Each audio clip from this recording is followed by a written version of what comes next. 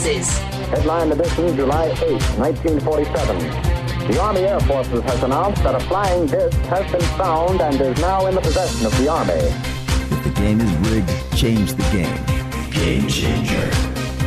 I occasionally think how quickly our differences worldwide would vanish if we were facing an alien threat from outside this world.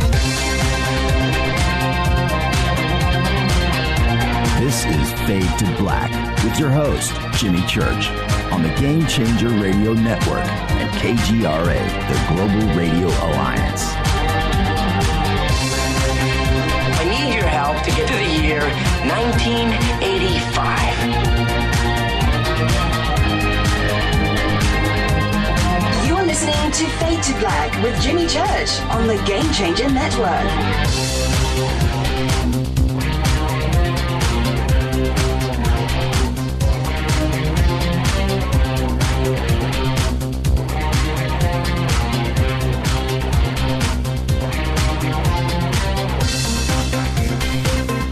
What up, what up, what up, what up?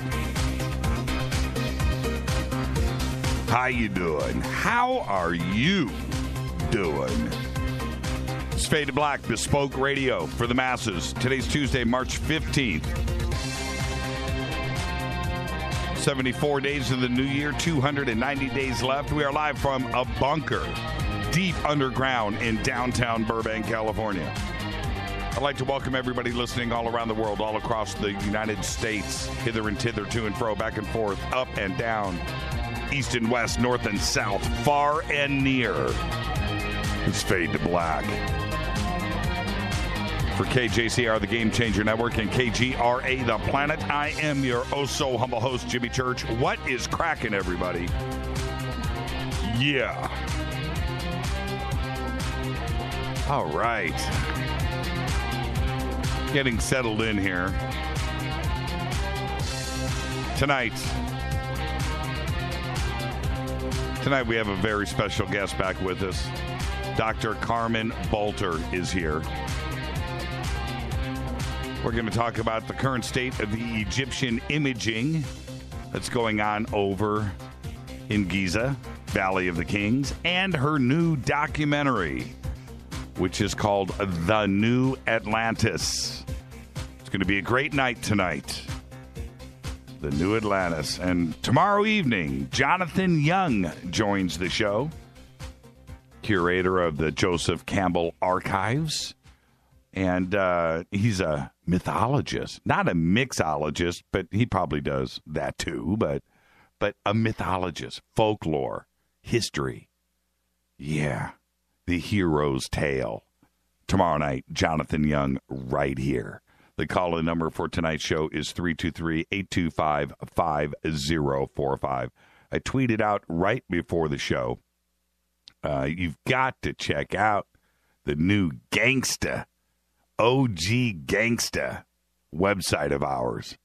It is dialed in and getting more dialed every day. But now I think we're at the point where we can go, all right, yeah, that that's good. That's functional. That looks great. I'm proud, and we are. Check out the website. It is it is all that. Seriously, I almost said and a bag of chips, but I'm not going to do that. Oh man, and what's really cool, I think that everything is there on the homepage. Then we have all of the other content that you need for the website, you know, past guests and uh, a place to shop. And we have Fade to blog and, and lots of stuff to read. And you can go hang out with all the Fadernauts. And I think we've got all of that stuff dialed. Uh, the contact page is now easier and simpler. Um, so, you know, that's for the Yahoos to email us, you know. Uh, very rarely does somebody use that, you know, to send a nice email. You know, hey man, you really enjoy the show. Now, people don't take the time to do that. they use that page to run anonymous. All right. Oh yeah. Uh, again, uh, thank you, Life Change Tea, for for doing what you do And having Ronnie on the show this week, I thought was really great. And the special that they have right now, it is cold and flu season. So right now, if you order two months of the super strength tea, you get the Moringa for just five bucks and free shipping. You can go there right now. Click on the banner, jimmychurchradio.com, uh, just to go directly to getthetea.com. Life Change Tea. Just mention Jimmy when you order, either on the phone or online, and get yourself that free shipping. And that Fadernaut special is right there for you. All right. Now, also, now finally, uh, and it, it, took a while to get here, but uh, on the homepage now, all of the information is there for all of the upcoming events. Everything is there on the homepage. You can see. You can go to future and you can do this, and you can navigate through the site. You can do what you want, but uh, right there on the homepage now, everything is there. So all the information you need for the New Living Expo, which is April 29th through May 1st in San Mateo, California, everything is right there. Okay. Um, Steven Greer, Nassim Haramein, Gregg Braden, Scott Wolter, many others. Uh, Mike Bara is going to be there. Uh, Laura Eisenhower. All the information is there for the New Living Expo, and we look forward to seeing all of the Fadernauts up there in San Mateo. So everything is there. You can go and just click through it. Contact in the desert, the Roswell Festival, UFOs within reach. It's all right there. Okay, we've got a very busy summer coming up, and we're going to go and hang out with all of you Fadernauts all around the country. So let's do this. It's going to be great. Info is there. Uh, really, really looking forward to the summer that lies in front of all of us. And we are uh, always looking for really good writers for Fade to Blog. If you think you've got what it takes and you want to come write for us, just email Rita, Rita at jimmychurchradio.com. You can also reach her directly on the contact page and uh, send us your stuff. We'll check it out.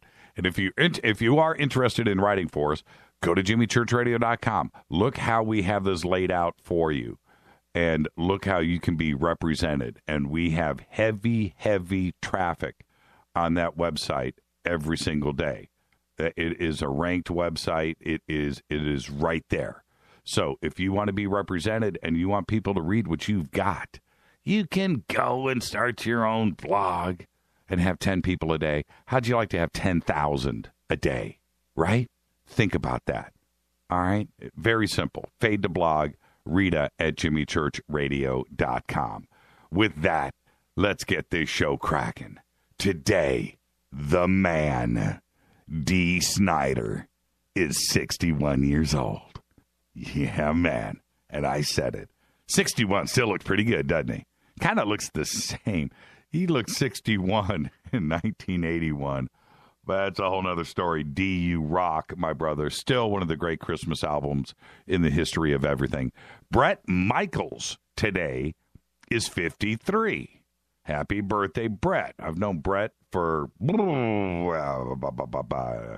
32 years, long time. Happy birthday, Brett. And uh, today, man, I feel like I'm name dropping. I don't mean to, really, but Fabio today is 57.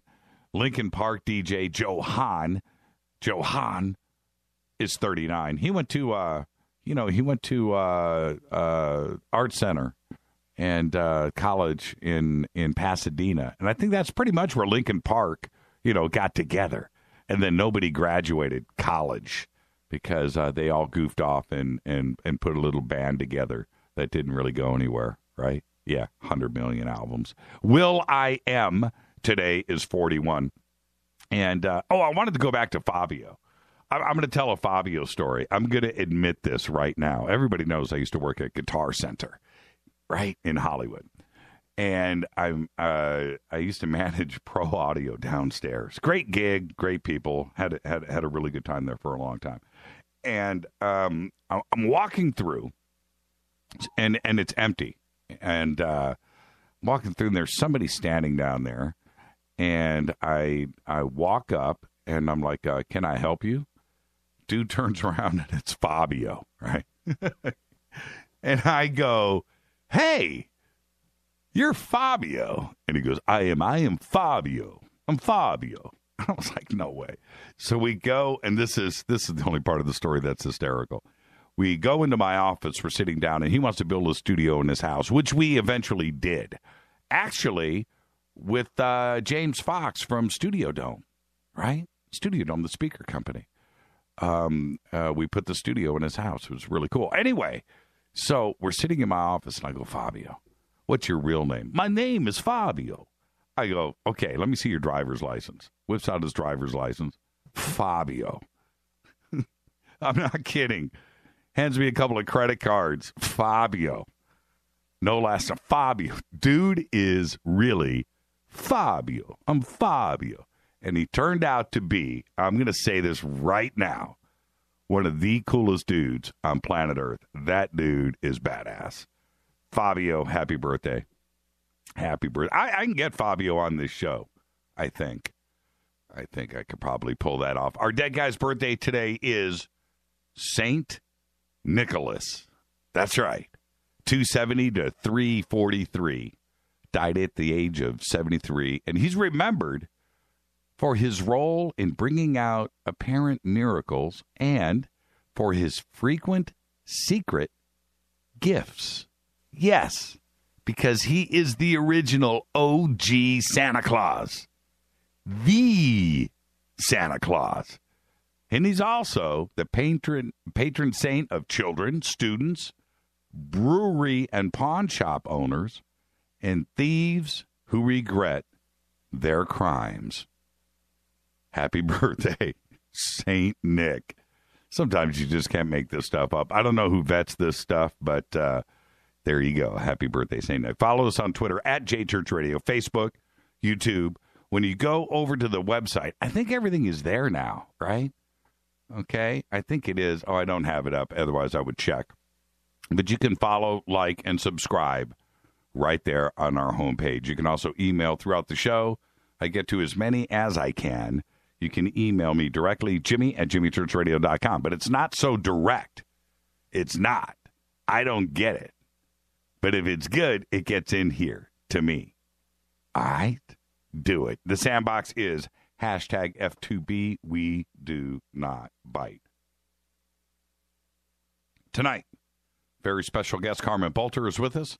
We're going to talk about what is going on over in Egypt right now with the imaging, King Tut's tomb, also uh, the Great Pyramid, and her new documentary, which is called The New Atlantis.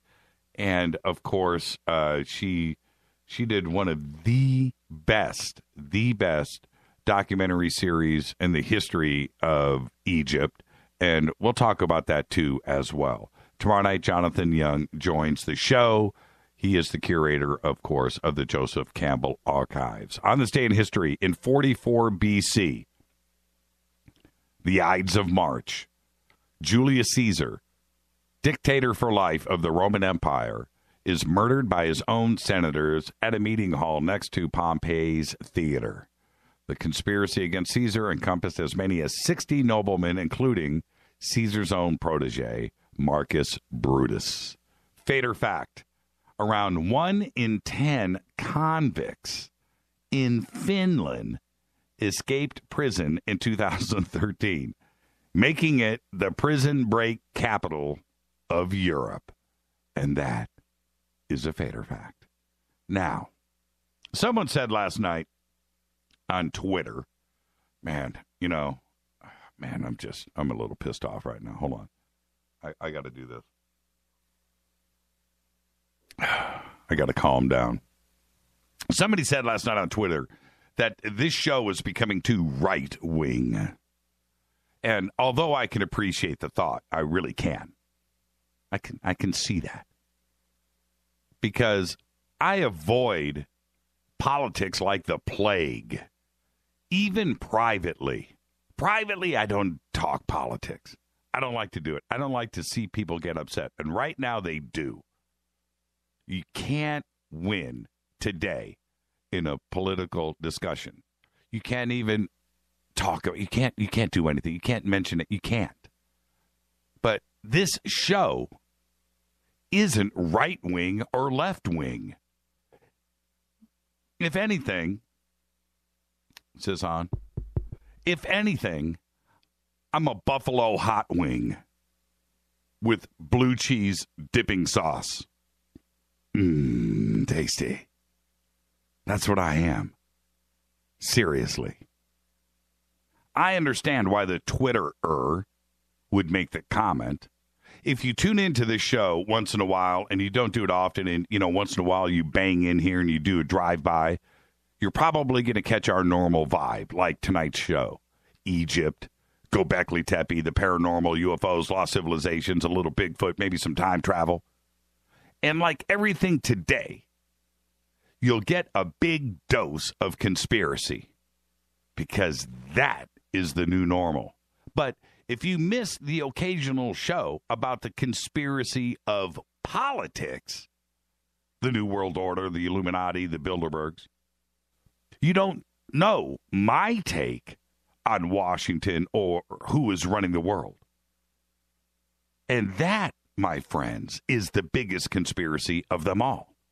So if you have somebody that does a drive by, like this Twitterer did, and they hear a heated discussion about politics and the conspiracy about that, suddenly I'm right wing or I'm left wing and I'm a political guy. You don't get it. That's not what this show is about. Show is about the conspiracy of everything. And I've said this so many times. So many.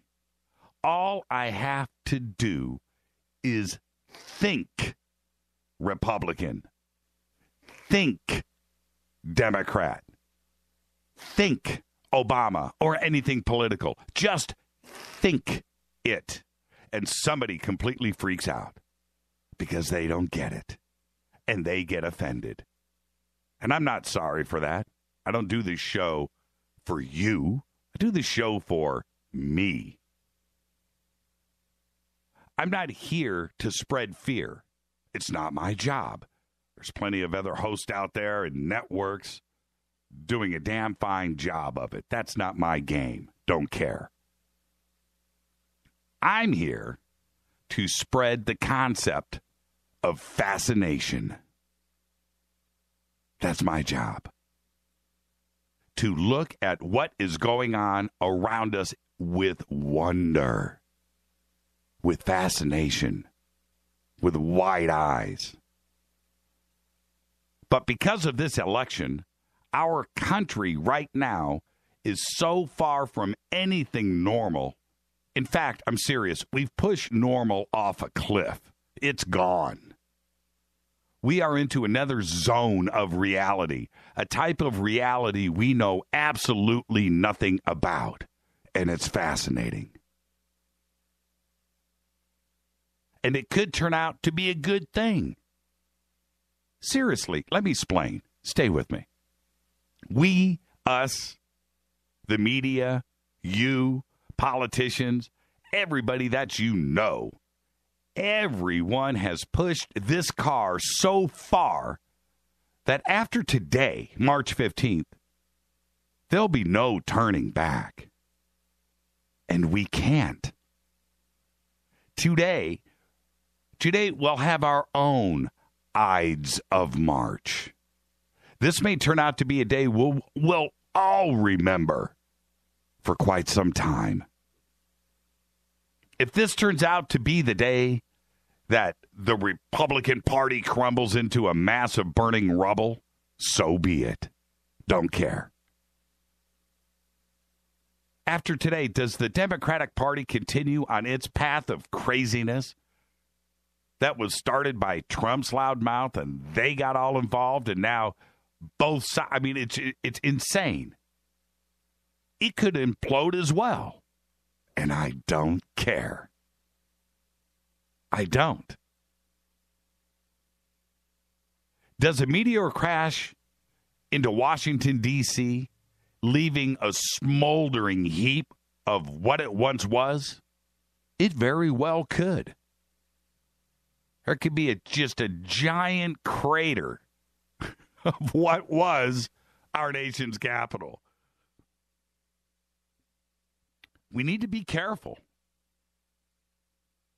Now, go with me on this. Just just go with me.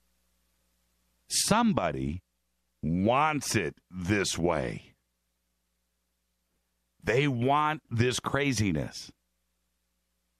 They want you confused. They they want that. I mean, it, it, it is it is being pushed upon us. There is a conspiracy driving all of this.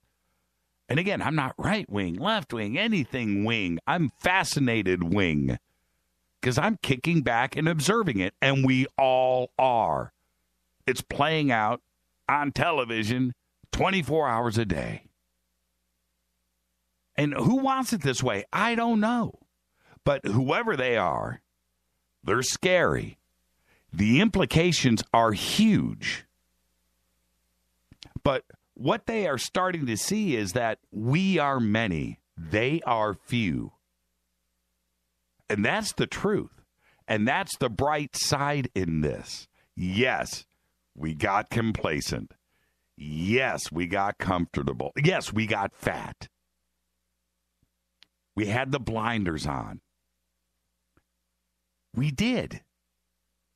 And we did it for way too long. But now we're waking up.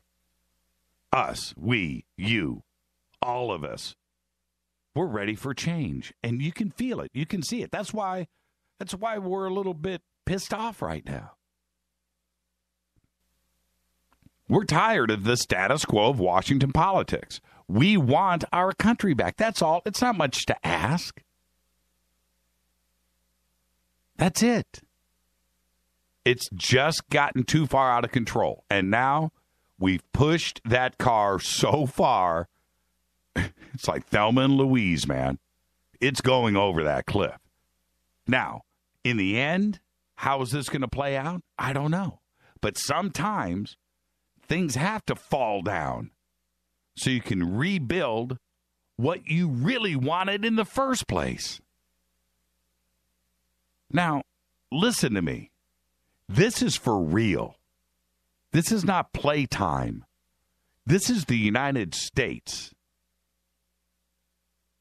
We love our country. We love each other. We don't hate each other, not in this country. People have died before us to give us what we have today. Proud people. And to see us divide and conquer and hate in the streets right now is stupid. We are way, way better than that. This divide and conquer thing that has been pushed down our throats, it ain't going to happen. What we are watching play out is reality TV gone really bad. We have to watch how far we're willing to go with all of this. But they will not divide us, and they will not scare us. We're Americans, we're proud, we love each other, and that's it. And that will prevail. And that's why I say this could very well be our very own Ides of March. This time, the conspiracy is real, but we caught them on TV. We'll see how this plays out. After today, there's no turning back. That's it. you can't put it in reverse. There's no time traveling here. Let's get to some of the news that you know nothing about. Crazy story today. Dandy, please, Jimmy, please. We hear this all day long on every channel. Let's hear a guest talk about something else. Exactly. Dandy, you're exactly right. You're exactly right. A man charged with fatally shooting six people in southwestern Michigan, interspersed with his stints as an Uber driver, told investigators he was being controlled by the ride hailing app through his cell phone. According to a, a, police report, this was released yesterday, Jason Dalton told authorities after the February 20th shootings in and around Kalamazoo that it feels like it's coming from the phone itself and that it was like an artificial presence. He told off officers that when you plug into the Uber app, you can actually feel the presence on you, end quote. He said the difference between the night of shootings and others was that an icon on the Uber app that was normally red had changed to black. When he opened the Uber app, he explained a devil head popped up on his screen. And when he pressed the button on the app, that is when all of the problems started. End quote. That is nuts. That's some paranormal stuff for you. Michael Jackson's estate has agreed to sell its remaining stake in the lucrative music catalog to Sony Corp for $750 million. The agreement for Jackson's half share of the Sony ATV music publishing catalog will give the company sole ownership of the works by pretty much everybody, including the Beatles, Bob Dylan, Eminem, and Taylor Swift. The sale does not include rights to Jackson's master recordings or songs that he wrote, and the singer's estate will continue to have a stake in EMI Publishing Inc. Check this. He bought it for $51 million. Sold it for 750. Disney announced today, yes, the fifth Indiana Jones movie starring Harrison Ford will premiere on July 19th. Don't get excited. 2019. Steven Spielberg will return as the film's director. I have to ask you. I'm going to uh, uh, I'm going to light up Twitter right now. I want to know. Don't worry, I'm not going to turn anybody in. All right? Are you a Netflix moocher? You, I'm talking to you. Are you a Netflix moocher? Well, Quartz is touting a new survey that shows 31% of the U.S. Netflix users are moochers. They're using someone else's login information instead of paying for the streaming entertainment service themselves. Uh, is anybody here your uh, uh, is uh, anybody here a Netflix Netflix you uh, moocher? I, I, I was really curious about this. The rationale behind the uh, allowing account sharing is as much about keeping current subscribers as it is snaring new ones down the line. The more people depend on one single account, the less likely the account holder is to abandon the service. That's the logic that Netflix has with this. Netflix is cool with it. They don't want people to get upset and cancel their account. So, if you don't live with somebody, you're at somebody else, you're at a different IP address, you do not live with that person and you're sharing that account, Netflix don't care. They just don't want that account closed. Leichtman Research Group's last estimate of Netflix moochery was in January 2015, and that was 19% of subscribers sharing password with someone who didn't live with them. Are you a Netflix moocher? Are you? It's okay. Netflix doesn't care. This is Fade to Black. I'm your host, Jimmy Church. Tonight, Dr. Carmen Boulter is with us. We're going to talk Egypt and her new documentary, The New Atlantis. I'm your host, Jimmy Church. Email is jimmy at jimmychurchradio.com. Follow me on Twitter at jchurchradio. I'll be back with Dr. Carmen Boulter right after this short break. Stay with us.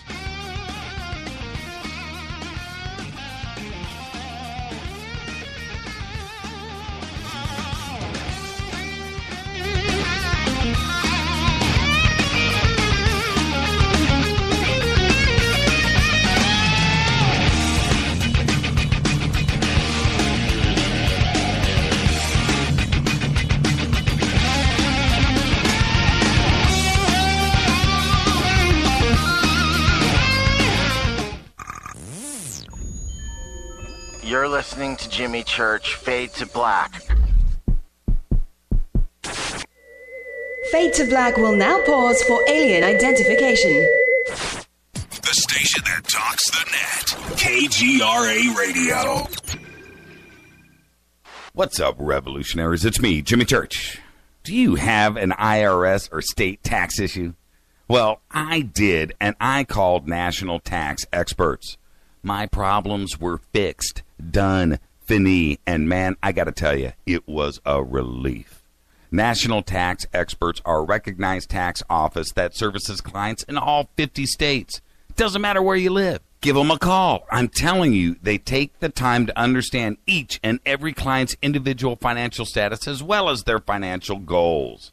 And that's exactly what you need, my brother, when you're taking on the evil three letter. So, seriously, give them a call today at 1 877 909 5444. Again, 1 877 909 5444. Or go check out their website, www.nattaxexperts.com. That's N A T T A X E X P E R T S dot com. Tell them Jimmy sent you. Poor water quality is a major health issue, and it's only getting worse. Municipalities can't keep up, standards have dropped, and pollutants are increasing. Where does it all end? It ends by keeping the pollutants outside of your home with HydroCare's advanced systems available at Wave Home Solutions. No less than the best purification materials and processes have been developed by HydroCare to provide you with healthy, clean water for drinking, cooking, and showering. HydroCare far surpasses the competition in removing chlorine, odors, iron, lead, chemicals, limescale, and much more. Don't settle for less when it comes to your water. We'll take care of the toughest water problems for you, whether it's from a city or well source. Satisfaction guaranteed. For more information, call 888 997 WAVE. That's 888 997 WAVE. Or go to bestwater123.com. That's bestwater123.com. Wave Home Solutions Nine out of ten geneticists agree. Fade to Black is not your father's radio show on the Game Changer Radio Network and KGRA, the planet. Hi, this is Chase Kloetzke with Fate Magazine Radio, and you're listening to Jimmy Church and Fade to Black on the Game Changer Network and the KGRA digital broadcast station where the Fader or Knots rock. Hi, this is Robb Reiner from Anvil, and you're listening to JimmyChurchRadio.com. What's up? I'm Chris. What up? This is Kyle Matthew. You're listening to Jimmy Church Radio.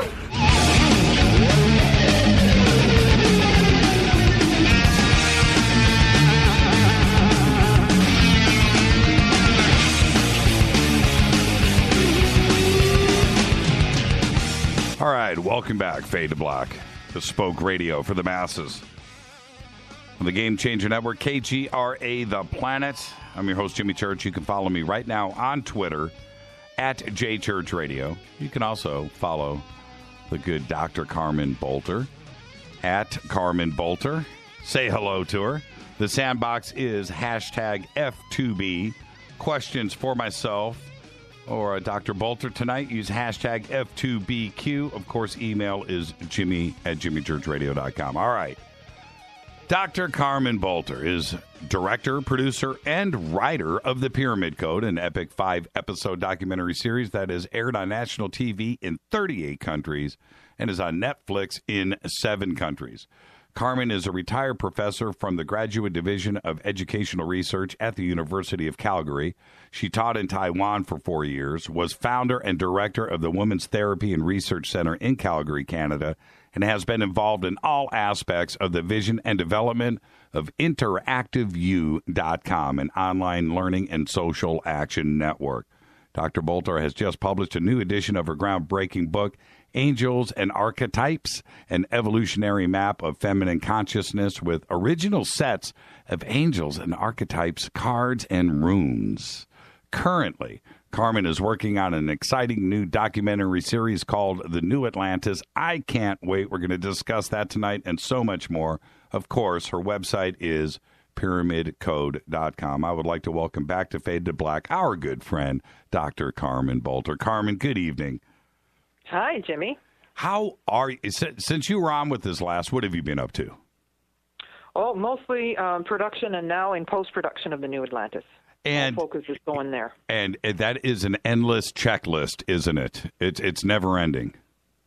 Well, no, it has to end. Um, we're, you know, just squeezing in a few last shoots, but uh, we're in post production. I'm working with an animation team, and we've got editors, and the final drive of uh, footage has gone to the supervisor of the editors, and so it's all going on. I've got yesterday I had 14 music tracks delivered via FTP, and more are on the way.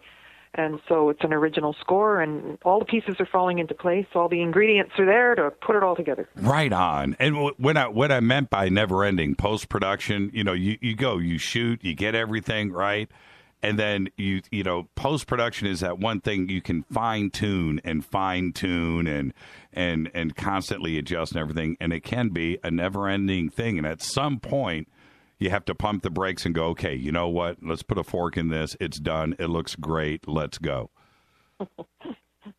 you laugh. You know exactly what I'm talking about. Oh yeah, oh yeah. The editors were calling the pyramid code the beast by the time we were, we were at the tail end. They just wanted it to be done.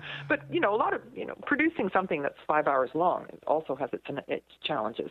And this one will have footage from over ten countries. So now, um, before we move on, there's so much to discuss, and and I do want to talk about the the new Atlantis and the motivation there, and, and we'll get into those details too as well. Um, but I, I, you know, and I've I've I've rained down the praises on the pyramid code on you so many times, but it is truly one of my favorite things, and I do go back once in a while and I just get my Carmen fix on, you know, and I go back and I'll watch it again and pick out an uh, you know, uh, an episode and watch it. But it turned it turned you in it's, it's certainly in our circle of people, it turned you into uh, a reference, a household name. And were you prepared for that kind of situation where now uh, you know, you're, you know, I don't want to use famous as the right word, but it, it has been watched by millions of people. Were you prepared for what that brings? No, because an awful lot of people, you know, fired questions off at me, you know, from, you know, just because they're interested in this and that. And so I've received, you know, 15,000 emails from people just asking me a random question. So that was kind of uh, surprising. Yeah, yeah. Like I said, you're you're now you're the expert, right? Fifteen thousand emails, and, and do you respond to them all? What do you do with that? Well, sometimes I'm slow. I intend to. There's only a couple that I just really didn't know what to say. Maybe five that I didn't answer. I've got a, several in my inbox now. Um, and I don't. I have to keep on putting myself in check that I don't owe anybody an explanation because they have a random question for me.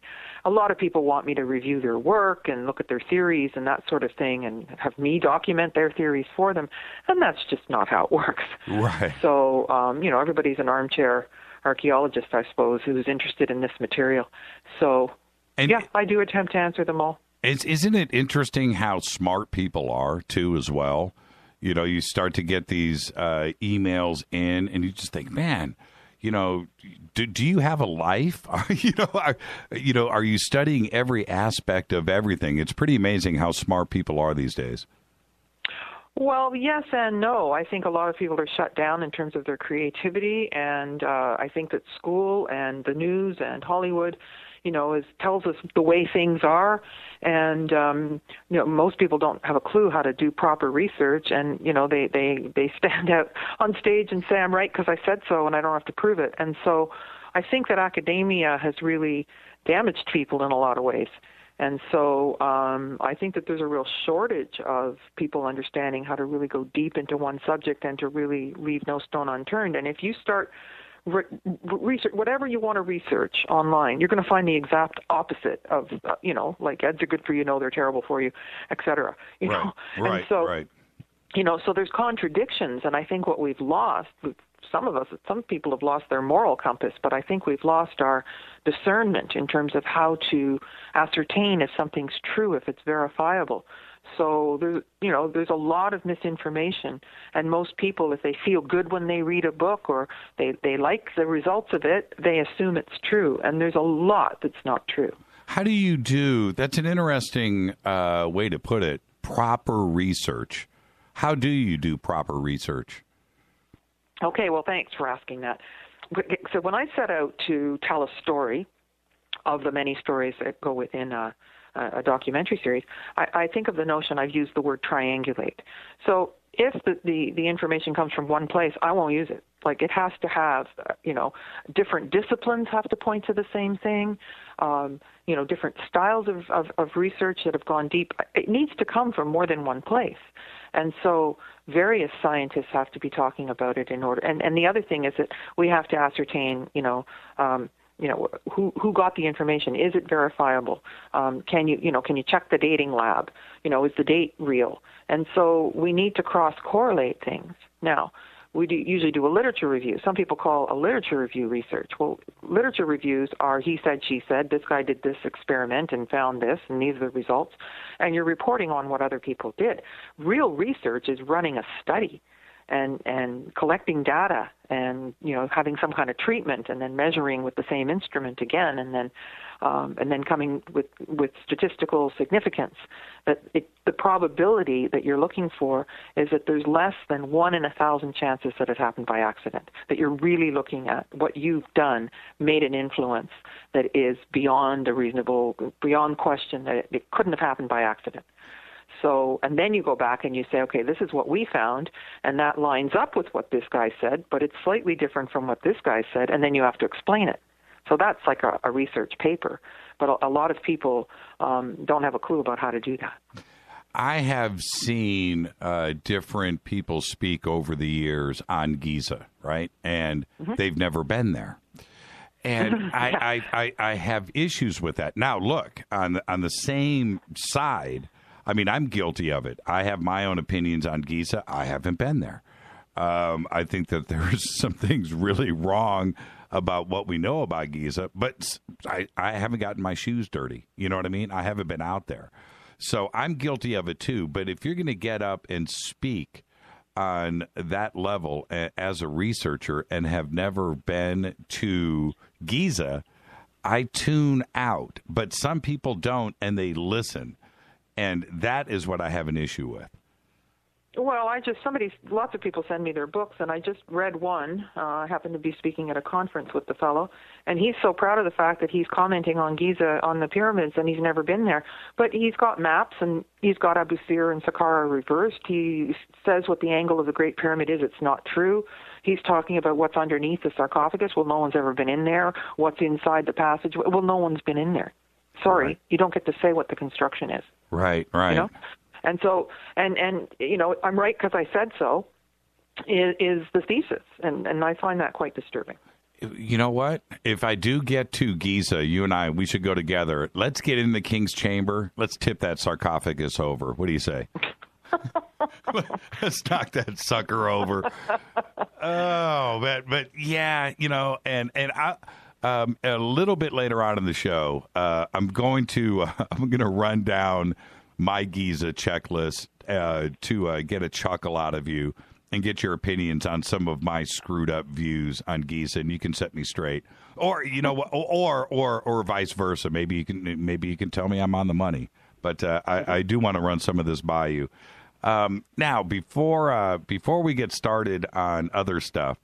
Uh, we have two interesting studies that are going on right now in Giza. We have one in the Valley of the Kings at uh, um, uh, King Tut's uh, tomb, uh, looking for possibility uh, the Chamber of Nefertiti, which would be interesting and and certainly pretty dang cool. And then we also have the imaging that is going on at the Great Pyramid. which one would you like to discuss first? I can go either way. Nefertiti. Okay. What do you think? Well, okay, now, if th- this is my opinion, if that is Nefertiti, would that be the coolest thing, maybe like in all of history? Uh, you know, when you think about the significance of King Tut and and the beauty of the artifacts that came out of there, still the most stunning stuff like ever, right? And if we have an undisturbed uh, uh, burial chamber for Nefertiti uh, behind there intact, could that be like the coolest thing ever? Well, yeah, but I think it's quite impossible. There's just so much wrong with it all. First of all, I mean, they've been trying. You know, there's a DNA testing that uh, I've been, I was following that for about 15 years of King Tut and how it was interrupted by Zahi on a national security thing, and they had this Japanese team and then you know they had somebody from Brigham Young University, Scott Woodward, and and they they didn't ever got the DNA sample, and then they brought a DNA lab to uh, the basement of the uh, National Museum, and they weren't doing mtDNA, the mitochondrial DNA that would show they were using the Y chromosome. Then you go online before all this, and they're saying, well, here is the the the mummy of of King uh, of Akhenaten, and it was a skeleton in a fetal position, and they're calling it a mummy.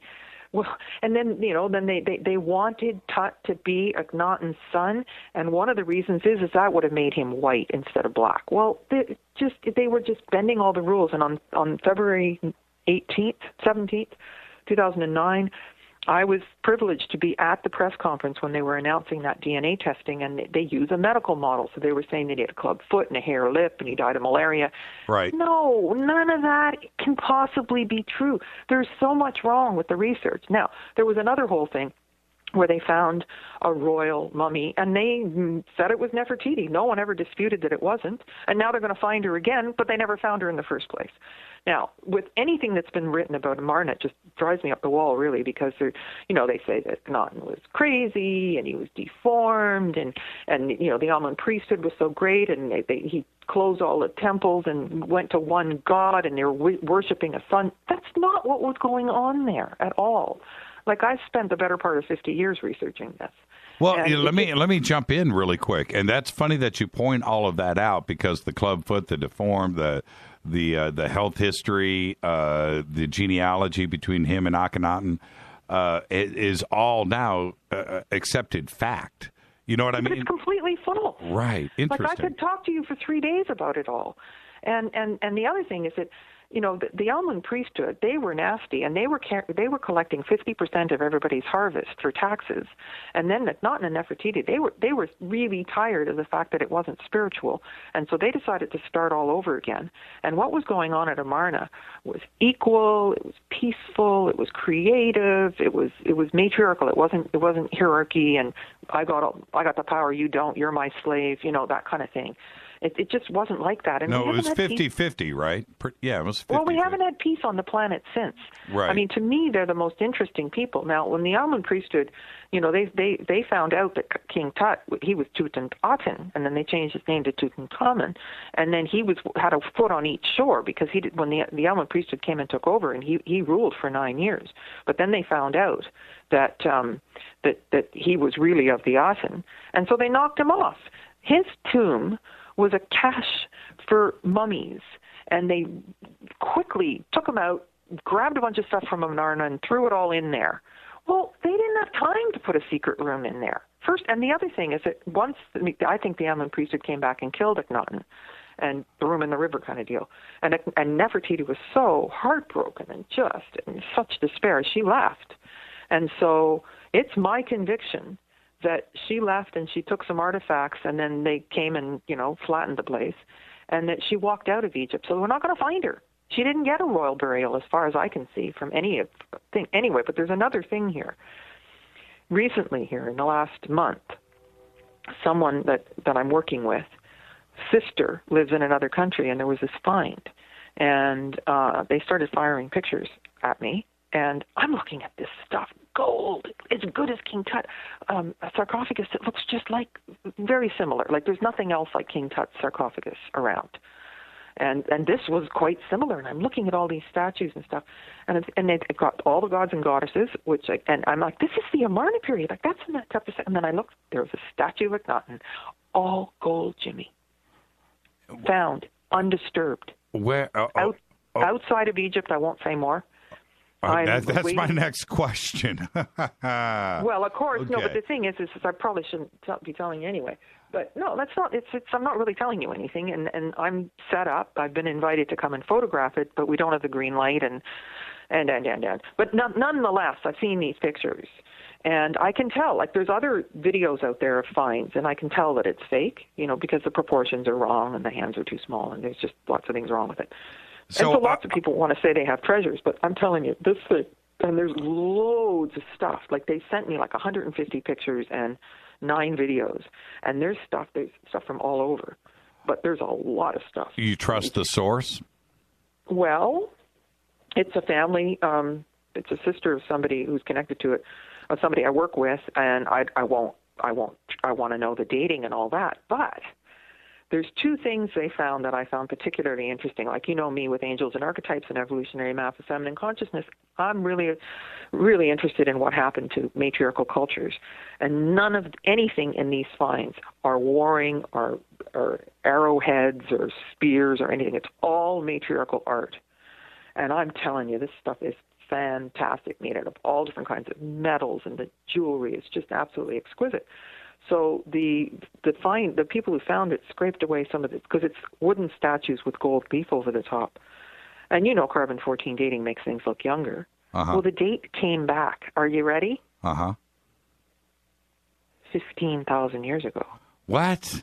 which means that it would have been a treasure in the time of Atlantis, handed down to the Egyptians. Right. And so the oh, okay, okay. I, I was going to ask if this was uh, Nefertiti's booty that she spirited out of Egypt. It's not. well, 50 yeah, that's what that's what my gut tells me. Interesting. And if she was going to be taking stuff, I would say that she would want to show that all this nonsense about the one God and all that stuff not even true. That's what Catholicism did. But they never got rid of Hathor and Isis and Mot and all that stuff. So at the, in, in the find, there is one of everything. There's a Sekhmet, there's an Anubis, there's a, you know, it goes on and on, a Ta, you know, one of everything, of every god and goddess. So that, to me, points exactly to the falsehood. But the thing is, is people, when they, they say something's false, they say something false, other people pick it up and repeat it. So there's a couple of researchers out there or writers who, who say that Akhenaten is Moses. Well, it's 800 years separate in the timeline. yeah. You can't do that. Yeah, yeah. Well, I've got You know, friends then- that say that Hmm? too, and and it's uh, it's interesting, and that that that uh, that has also picked up steam lately uh, as well. Yeah, but back it up. You just can't say I'm right because he said so. That's Right. as bad as I'm right because I said so. Well, now let's let's back up a second here. So now, when you're looking at that, when you say there is one of everything, is the look, is the look? Oh, man, I don't want to sound naive here, but just go with me on this, Carmen.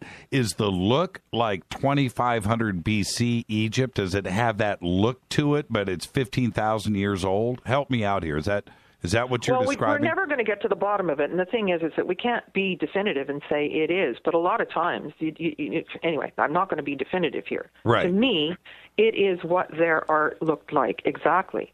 But I, it never occurred to me that it was possible that they didn't make it. Well, everybody inherits something from their grandmother, and they've got the jewel, you know, the jewelry and the, you know, the brooch from, you know, their great grandmother that gets passed down. Right. But this opens up another whole thing, and there's another th- find. So, um, so the Minoan culture, and again, it wasn't the palace of King Minos. This was clearly a, a matriarchal culture where you see all those, you know, they're they're doing acrobats on bulls and that sort of thing. And Gavin Menzies, who's done a lot of work, he was writing a book on called 1491 before Columbus got there, talking about what the Indians were doing, and they could have had Chinese, you know, influenced descendants and that sort of thing walking across the. And then he found this stuff in in at in at Knossos, and he stopped his book, and then he wrote a book about the the ties of the Minoans to Atlantis. right, right, right. And that is particularly interesting. Anyway, so for years I had this one of the there's three women and they have these little um jackets on and you can see they're bare breasted and they've got pearls and jewels in their hair and uh, incredibly ornate hair and, and and you know if they're in a warring situation they're not going to spend 2 hours on their hair every day. A B, these are absolutely classic looking. And I had this this this replica of it in my house for years, and um, so they found these coins that is like just the head of these with the, the hair and the whole thing. It's exactly like them. The back of the coin is an owl, and there was a whole set of them, and they were silver. And then a couple of days later, they found gold ones. I mean, I'm telling you, there's a lot of stuff. But so they asked me, well, what date would that have been? And interestingly, um, the the, my, uh, the the Minoan culture was contemporary with the 18th dynasty, Hatshepsut, Nefertiti, Akhenaten, Tut, all of them. Right. And so I said, well, it would have been at least 3,300 years ago. They go, nope, we got it dated 6,800 years ago. I'm like, what? What? 3,000 years What? before the Bronze Age? Wow. Yeah, well, see, we've got the whole picture wrong. We, everything is backwards, upside down, and inside out. And um, and and the truth is an option in our culture. There's the one right answer hypothesis for school, A, B, C, D. You give the answer the teacher wants, whether it's true or not. Right. Um, you know, all these court cases where you have to find somebody to blame, close the case, put somebody in jail. Okay, it's that's who did it. it that's often not the case. You just want to give Zahi a heart attack and put him away forever. That's what you're doing. Well, what? No, the thing is, is that there's Zahi's already out of the picture. He's on to other things. yes, yes, yes, yes. He's long gone. But the thing, everybody, you know, how many times he- he'd be on uh, Chasing Mummies, and I'd get all these phone calls. What is the matter with him? He's rude. He's screaming at people.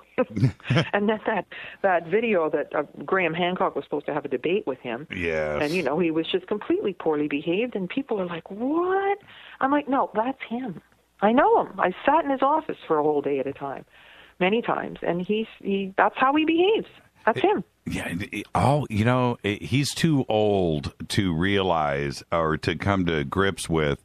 Everybody's got a cell phone camera these days, pal.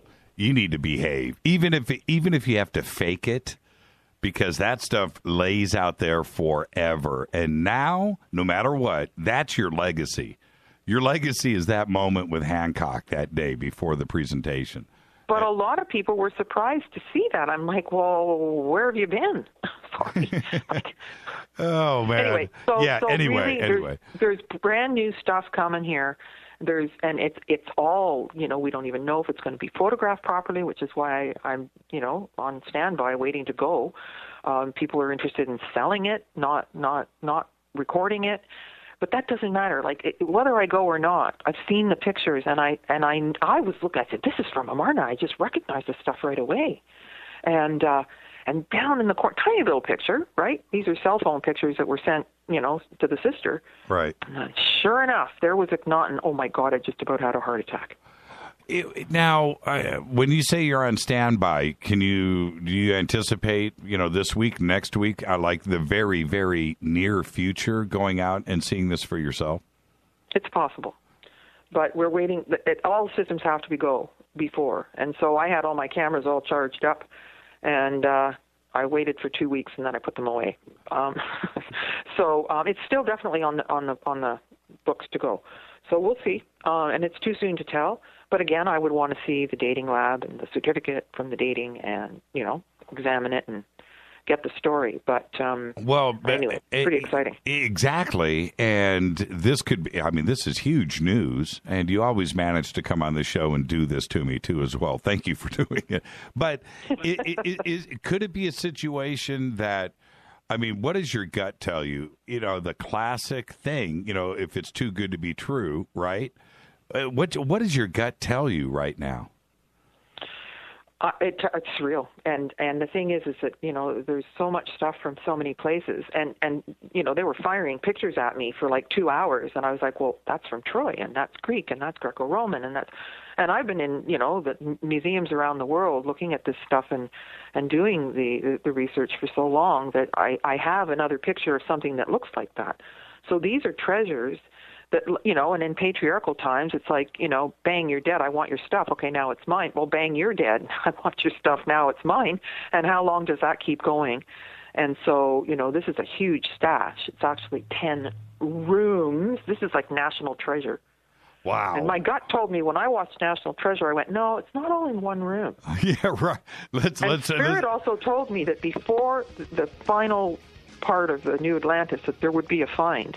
And this is the third thing that I, the possibility. Like, At first, I thought it was this, and then I thought it was a Hawara, and and What- now I'm like, well, this is like on a silver platter. Let's take a And br- so- well, let's take a break right there. We'll pick that up on the backside. Our guest tonight is Dr. Carmen Boulter. This is Fade to Black. I'm your host Jimmy Church. More with the good doctor right after this short break. Stay with us.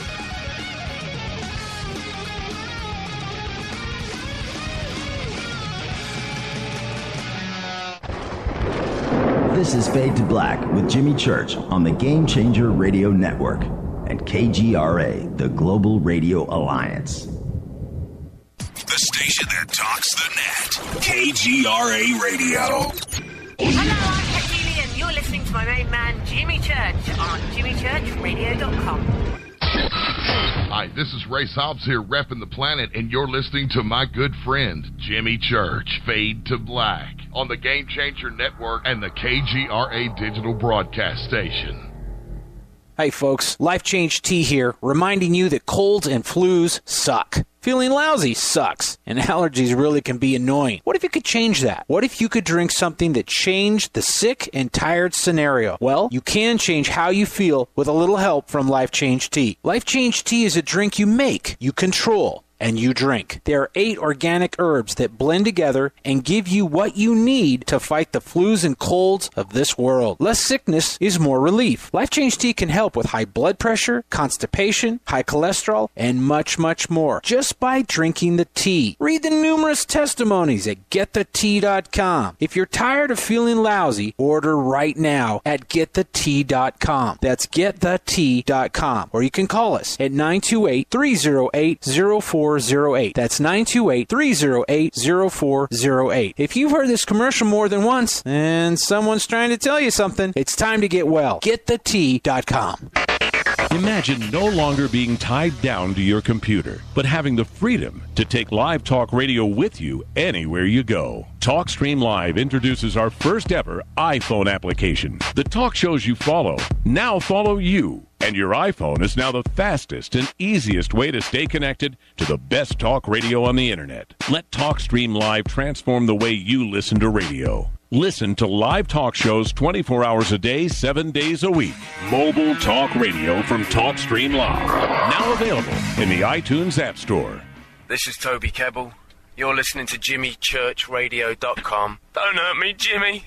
I'm only little. Hey, I'm Adrian Grenier. And this is Ari Gold. We're the Honey Brothers. Well, the, yes. We are of the Honey Brothers. Hey, I'm Adrian Grenier. And I'm Ari Gold. We're the Honey Brothers. And you're listening to Jimmy Church. The Revolution.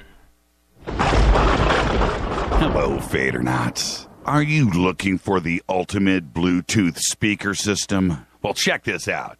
The Studio Dome surround sound system featuring the Studio Dome 1 SD1 and the Studio Boombox SBB wireless Bluetooth speakers is the perfect way to get surround sound without all of the cable headaches. With its own hard shell custom carrying case for taking your surround sound experience on the go. Each hard shell case comes packed with an SBB, two SD1s, cables, and power. It's just 99 bucks. And you use the promo code Jimmy and you get yourself some free shipping. Once again, Studio Dome brings you the best deal on the net. Anywhere. Just go to the Studio Dome banner, jimmychurchradio.com, promo code Jimmy. Go Beckley Teppy. This is Micah Hanks of the Gralien Report, and you're listening to Jimmy Church on Fade to Black, across the globe on the Game Changer Radio Network and the one and only KGRA Radio, The Planet.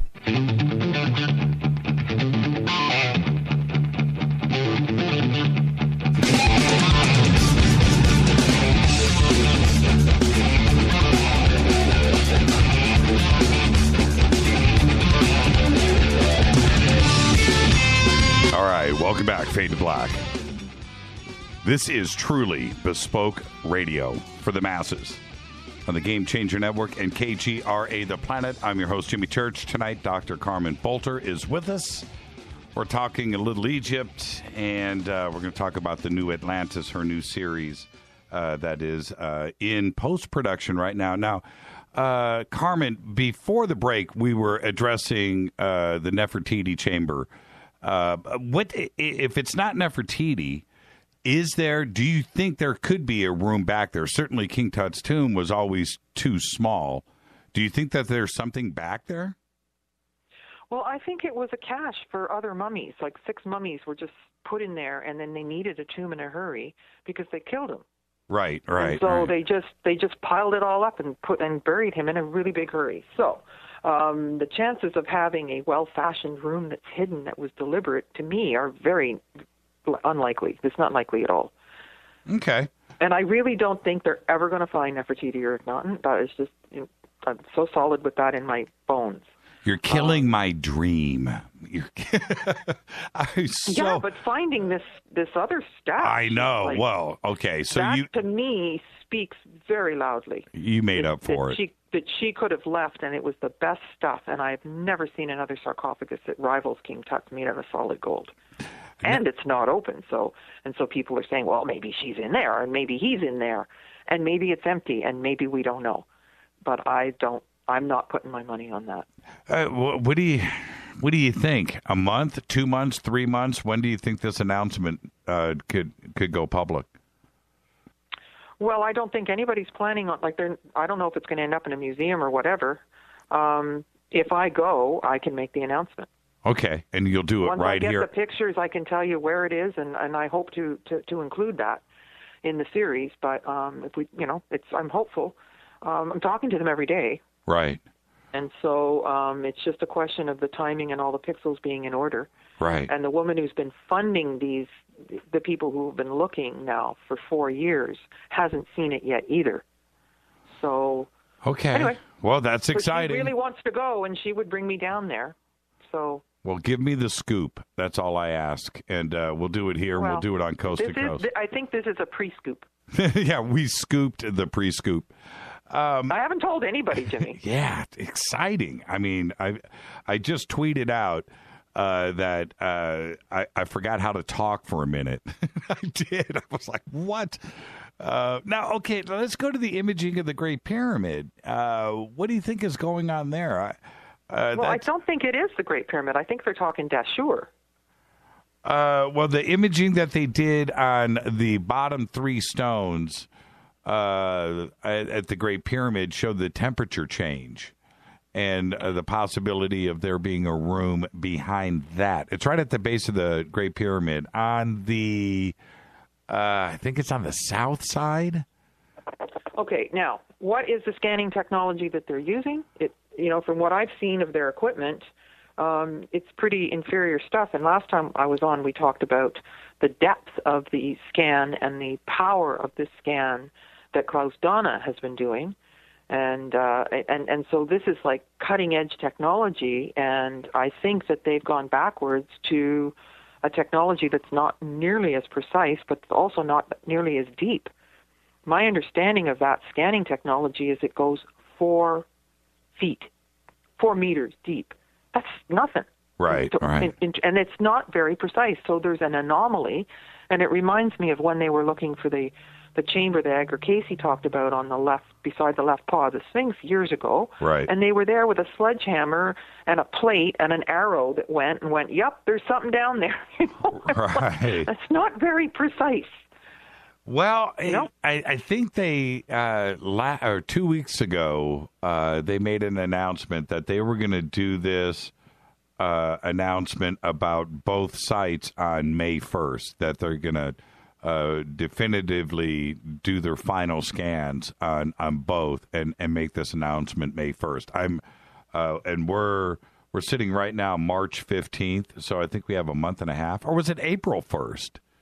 Oh, it might have been April 1st they were doing the announcement. I, I did the story two weeks ago. I can't remember. Yeah, thermal imaging. I don't know. Okay. I don't know. I don't think I, I, I, I Egypt. You know, everything's a little bit broken in Egypt. I always say, and they don't have access to the very sophisticated technology. And I just, I'm sorry, I don't want to be a, a naysayer, but um, I don't think there's much, there's much to it. And I think that they've been trying to get their own scans because of this other thing. Because the ones that wanted to take the Hawara scan for me, and I went public instead, uh, you know, they were disappointed that they couldn't use that and claim it as theirs, and now they're looking for other scan scanning techniques. Now let's uh, let's talk about the new Atlantis. Uh, I know that you've been working on this. Your original. uh, This goes back to 2012, 2013. Yep, that's right. Twelve. I started filming for it in 2012. 2012 and what was uh, obviously when it when you do something like this there's a motivation behind it what happened and why why the new Atlantis and and when you say uh, the title and you put when you say new and you put that in it what are you implying Okay, well, I was approached when I was speaking in St. Petersburg uh, by Valery Uvarov, who wrote a book called The Pyramids and who has built new pyramids in uh, Siberia, Tomsk. And uh, there's a project that's got two names. One's Project 12 and the other's the New Atlantis. And he approached me um, when I was at this conference speaking uh, to do a documentary series for him, claiming that he had funding. And the funding fell through, and I said, well, if there's no funding, I'm going to keep going and do it anyway. So it was through him that it got its title. And the idea is uh, 12 different domains where there's paradigm shifts in education, transportation, communication, health, goes on, agriculture, just about anything you can think of. They're you know looking at new ways to get energy and and and beekeeping and all these different things that will help humanity move forward, as opposed to breaking everything down. And they were using the model of Plato's description of Atlantis as the map. So there's a big pyramid in the middle and it's finished. I've I've got the Google Earth coordinates, and then there's four pyramids going around the outside of that concentric circle, and then another one, another four. So nine pyramids at all in all, with buildings dedicated to each of these domains that I've mentioned, with scientists coming and the whole thing. So mm-hmm. that's the new part. But then, what did the ancients know? And Valery actually engineered this pyramid, and uh, and so it's it, he studied the double. Uh, uh, helix uh, in the quartz crystal under pressure. He used poured stone. They've got you know crushed quartz crystal in arms, black white underneath the structure that uh, replicate the, the, the, the galaxy. I mean, this is really sophisticated. And inside the pyramid, like in between the chambers, there are 14 foot quartz crystals from Brazil that are under pressure because of the stones. And the casing stone it was it was actually poured on like a fondant icing, and then it hardened, and that's made out of cr- crushed quartz crystal. It, uh, I've yeah. seen I've seen some of the pictures of it, and it looks. Uh, you know what? It looks really expensive. it cost five million dollars. Yes, it it's got that look to it. I. It but is, you know who paid for it? It's a produce company who wanted to energize the food. They wanted something to warehouse produce in before it got on the trucks to make it healthier for people. And so this pyramid is functional and there was you know people get spontaneous healings in there and they're healed forever and it's just like it's really quite remarkable. So but I started looking at well all the stuff they tell us about Atlantis. So one of my earliest um past life readings way back um you know they said something about me and my role in Atlantis and um and so I spent you know the better part of my life wondering what does that mean and could it have been and where would it have been and and listening to all this stuff on Atlantis and there is so much garbage and contradiction out there where people stand there and I know I know and this is what it was and it wasn't 9000 years it was 9000 moons and and Plato was broken hearted because Socrates his mentor was sentenced to death and he drank poison and he was so full of grief that he made up this fantasy and it's not true. Or, you know, Plato said there were elephants. Well, there can't be elephants at Santorini, so uh, it's a myth. You know, and, and like this guy said this and this guy said that, and everybody going around and it's Antarctica and it's here and it's there, and nope, doesn't meet the criteria, and then they throw the whole thing up. This, these are the documentaries that are about Atlantis that make my stomach turn, and they make me very angry indeed because it's like something must have happened. Who are, you know, and how is it that the Mayans and the Egyptians and the Sumerians and the ancient Chinese and the ancient Indians all have the same sort of thing stories of flying ships and, and agriculture and civilization, and it looks like they never talk to each other. Well, this is a third party hypothesis. Maybe they all had similar ancestors. So, how can we look at the whole situation differently? And what did Plato actually say? And is there a place on the planet that has all those characteristic features? So I spoke at a conference in Java, of all places, Indonesia, not long ago, in December. And the, the entire conference, I was keynote. There was only three speakers. It was one day. Every person was talking about the evidence of Atlantis in Java. Right, right, right. And one of the guys did a checklist. So Plato said this, and uh, Cremaeus and Titanus, or whatever those words are, in Plato's um, sections of which passage said what. That there were coconuts and there were elephants, and they had two seasons, a rainy and a dry, and they irrigated, and all these different points. A number of them, I think it's 63 and you know Troy had 41%, and all these different places that people have claimed could be Atlantis, Straits of Gibraltar, Azores Islands, you know, on and on, Antarctica, uh, high altiplano, South America, had a certain number of points that added up, and they got a percent. And Java gets 100%. Hmm. Yeah, the two season aspect uh, takes a lot off the checklist. Well, whatever. There's many, many things, but Right. what is the real research in terms of how the water levels changed? And it's the Ring of Fire. Right. And and and so the other thing is that there's a lot of focus on the last flood. And Graham Hancock's got a new book out, um, you know, focusing on this worldwide. But what about before that? So Atlantis lasted long, and they said, "Oh yeah, they they they were doing all these experiments with animals and humans, and you know they got corrupt and abused the power of the crystals, and so God sent a flood." Well, if that was thirteen thousand years ago, and we're in the bottom of the Iron Age of the Dark now, Right. then that would have been a golden age. And if you say corruption brings floods, you think we don't have enough corruption going on? Right. Right. Right. Hello, Right. where's the flood? You know, if that's the cause and effect. So I've just been trying to sort through all these different things and show, you know, with real stuff, um, how these pyramids are older, how a lot of the pyramids are pre-flood, and so they would, like the Bosnian pyramid, covered with silt and then grew trees. And that's been dated to 38,000 years. And Gunung Padang, where I also filmed, um, 26,000 years. Right. Göbekli Tepe, they say 13, but it could be a lot older. Right. Göbekli Tepe was decommissioned. Um, uh, the Bosnian Pyramid Tunnel System was decommissioned, filled with rubble, as though they had some prior knowledge. It makes sense that they could have had technology to detect some of these earth changes, but also they had been through it before. So my information from ancient texts and from various uh, astrophysics and various things that fit together uh, was that there was a major catastrophe 58,000 years ago, and they had some kind of forward warning 17,500 years ago, which corresponds to big solar flare activity and that sort of thing, and reversal of the sun's magnetic poles, and then 13,660 some years ago. So, you know, I think it's, it, you know, but we're, we're taught everything's 5,000 years old. It's nothing's older than that, and the Bible and school and everything says that that's how old we are. And that's what the Pyramid Code was opening up too. We could be much, much older, precessional cycles. Well, how about, okay, two, three precessional cycles, more maybe.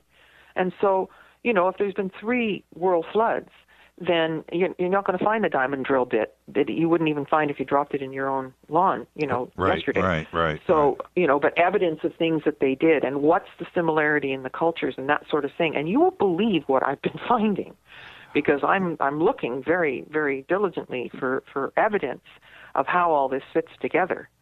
And um Well, found I well, okay. I, I want to know about that because we we we are trying to. There's there's no question that the pyramids in in Giza are much older than you know the 2500 BC. That that's out. Uh, That that's it. I don't buy into that. Again, I haven't been there, Carmen. So please respect. Uh, uh, you know, I will admit that. But what I don't see here is logic, and that's the problem. Uh, the logic for what? for them being built at 2500 BC when you have a No, 7000 no, it doesn't fit. It doesn't fit. with anything. It doesn't. It And might have been the last restoration, but as I said before, the last time you painted your house has nothing to do with the year your house was built. exactly right. Nothing. That's exactly right. And so the pieces that you're starting to find are the ones that I think all of us are trying we're trying to make sense of this because a 7000 year gap between Gobekli Tepe and and the building of the pyramids at 2500 BC and then uh, uh, man was complete idiots in between all of that and nothing happened doesn't make sense. And w- we can't we can't buy you know what into the, that. com- the common word is about Göbekli Tepe from the people of Turkey between each other is that it's one of the gates to the Garden of Eden. Ah that's interesting And it's right there. I mean, the, the, the border of Turkey meets the border of Syria that meets Iraq. It's right there, Göbekli Tepe, right on the south part of Turkey. And you know what and else that's is? also really close to Çatalhöyük, which is the only site that they declare as matriarchal fertility goddess. I was that. just going to bring that up, and that's an. and then the Amazons, there's evidence of 42,000 years ago, the Amazons being there in northern Turkey. I mean, this is a hotbed. This is along the Silk Road. This is these are the trading routes. This is this is you know where history was happening. And around Gobekli Tepe, no weapons, no arrowheads, uh, you know, no weapons of And, and, war. and no pottery. They didn't live there. They they went and did ritual there, and everything's round. And you know when you when you listen to the people in charge talking about Gobekli Tepe, you know they're saying, well, we can't figure out where we find red, white, and black. Matriarchal. We can't figure out everything spirals. Matriarchal. Right. Why are the buildings round? Matriarchal. You know, you know, like one word would would give them answers. to, and it seems so elementary to me because that whole area is is is the the the, the beginning of it all. The so, so how are you filling in the blanks? Uh, what have what have you been finding? Yeah. Yeah. Hmm. So um, when you asked me if I was surprised at some of the eventualities that came from the Pyramid Code, let me tell you, I was surprised when I got to Indonesia and had a very strong fan base there. And the man who organized the logistics for this trip had posted, and I had a link on my website, and so everywhere we went, there were people coming to meet me. And I'm like, what is going on here? Right? We go to Starbucks and then, oh, Dr. Carmen's going to be at Starbucks. what? yeah. In a restaurant in Bali, somebody recognized me because they'd seen the pyramid code and bought the whole table dessert. I mean, like, You gotta love me? that. Yeah, you gotta love that. That's cool. Okay, so but then, so the people from uh, Jakarta were radioing their friends in other parts of Java because we went from one end of Java to the other in this trip filming, um, and said, "Well, they're going to be at this hotel on this day. Go see them." And um, and this guy, he was so pleased with my work that he bought my whole crew our train tickets. And when we got to this new place, he had hired a driver for the day to take us wherever we wanted to go and paid for it all. Wouldn't hear of us paying for it. It's like, it's like, well, thank you very much.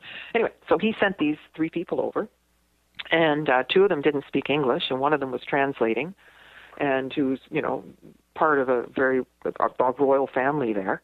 And uh, these guys had stories. Anyway, the, the long and short of it is, they showed me pictures from Sumer lining up with this one temple. There is a temple in Java that looks. If I showed you a picture of it, you'd say that's in Mexico. That's Mayan, and it's okay.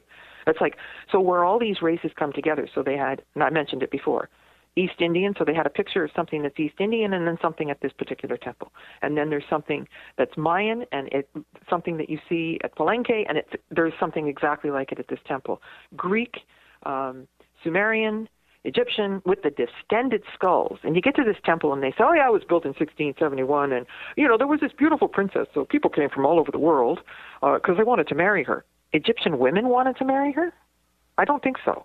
You know, it's like, no, I don't think you got the right story. But that's the, that's where you start. Whatever they tell you the date is, it's usually wrong. You don't know what's underneath. Like even Borobudur, which is stated to have been built in 1200 AD. Well, is there anything underneath it? Yes right? Yes. You know, do the legends support that? Yes. And there's also Mayan stuff at Borobudur. I mean, this is just absolutely mind-boggling. So I got a field producer and went to this place and filmed it. Aerial footage, the whole thing. I flew the quadcopter. I'm a pilot, um, and and and photographed it. And I'm telling you, it's mind-boggling. So what they're basically trying to say is all these groups are related. Now, jumping the gun to put it together to to make a story here. Well, it's not make a story; it's to explain it. Okay. Right. If there was a foreknowledge of a flood, let's just say it's us now, and we're we're at the table, and we're on the evacuation committee, knowing that a disaster is coming. We've got some time to figure things out and what to do. What are you going to do with the stuff? How are you going to help the planet? How are you going to help the people? What are you going to do? And so it's my conviction that there was a decision to, to go and colonize the planet on the telluric currents to build pyramids that actually were going to help because of the way they were positioned and, and connecting energetics into the center of the earth, the, the, the core, to help the magnetics not flip their poles. Part of what caused one of the catastrophes is the north and south magnetic poles flipped. Well, you can't hang on to things. So what would hold those magnetic grids in place. And so let's say we had to colonize these five cultures that I've been talking about, right? And we go to these places and build some pyramids and da da da. Okay. So let's say we sent all the hip hop kids with their own music and their own way of dressing to one place, and all the ballerinas to another one, and all the firemen to another one. Like we have lots of sets of people, groups that have their own music, their own, you know, way of speaking to each other, Dress, clothes, language. Yes, yes. right? Yes. And then never the train shall meet. You're not going to find a hip hop person with a ballerina, right? And and then it doesn't mix. So the Mayans, you know, put feathers in their hair or whatever and went over there and built their stuff, but they all had the same civilization, civilizing processes, agriculture, you know, whatever, however they did yeah, their that core it's knowledge. all similar. Right, right, right. right? And so perhaps the Atlanteans were the ancestors. These groups seem different, but there's a lot more similar astronomy, geometry, you know, all these different things, these sciences that they understood. And we've just glommed over the whole thing and assumed that, you know, the ancients were retarded and we're, we're better. Right. But I, I think the I, I, I- think this is a smoking gun. I mean, I've got the footage of this place that has all these cultures represented, and I'm telling you, it's it's it, it's. I'm going to de- be able to demonstrate it, but I've got a lot of other things that that piece the thing together, and including, you know, the things about you know plasma tubes and gamma rays and Fermi bubbles and all these things that science is just, you know, starting to understand. Oh, the other thing. Oh, wait till you hear this. Okay, well, hold on. We're going to hit a break in three minutes. So let's save that other thing for after the break. But um, what about, uh, if you can quickly address this? Sorry about that. What about China? Are we ever going to get in there and check these pyramids out? Why are they deliberately, if there's ever been a disinfo campaign, right, in real time, it's China and these pyramids. What what is it that they're trying to hide, and and are we ever going to get in there and get a, a get a look? I went. What'd you see? I saw I saw stuff, and I didn't see them all, and I certainly didn't have aerial footage. But I went to the heart of where those pyramids are, and you can see them from Google Earth. There's aerial photographs of them from you know World War II and planes flying over, and they were trying to. But the thing is, now it's known, and the constellations that they represent. I've got the GPS of every single pyramid in China. There's 70 of them or something like that. yeah, I've looked at them too on Google Earth, and but the thing is, uh, I want to know about construction, what's on the inside.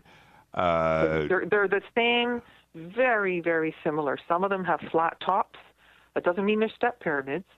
They're very similar in terms of angles and size to the Giza pyramids and Bosnian pyramid, which is possibly bigger than the Great Pyramid. But th- th- it's it's it's the same family.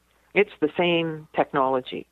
And then there's all the stone circles everywhere too, that would have most certainly been to represent the alignments that had been lost once, you know, because the planet did get struck and the axis of the Earth shifted by 14 degrees, which caused all kinds of, you know, problems and having to regroup. And so that knowledge is in stone circles, and most of them. Did you know that 75% of the stone circles in the world are in Ireland?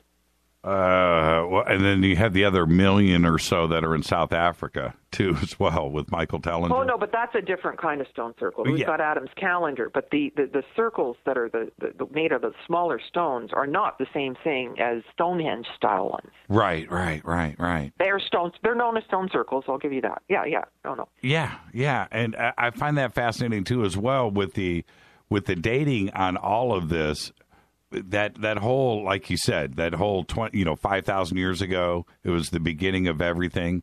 It simply is not. I cannot wait until academia just bows under pressure and starts to really talk about this and and put some science to this. Well, because and then you've got Michael Cremo, who who's looking. He's using potassium argon dating, and he's coming up with skeletons that are a million years old. that's right. That's right. Right, and then he he he he had a very tough go of it. You know, 20 years ago, there's a, a, a YouTube video of him being interviewed on all these television shows when he's so young, and uh, he's dealing with the same stuff now as he was then. Yeah, like there's no more real acceptance, but we've got internet and we've got your kind of radio show and conferences to discuss this. This is Fade to Black. Our guest tonight, Dr. Carmen Boulter. And after the break, we're going to get to her, whoa, the other big thing, right after this short break. Stay with us.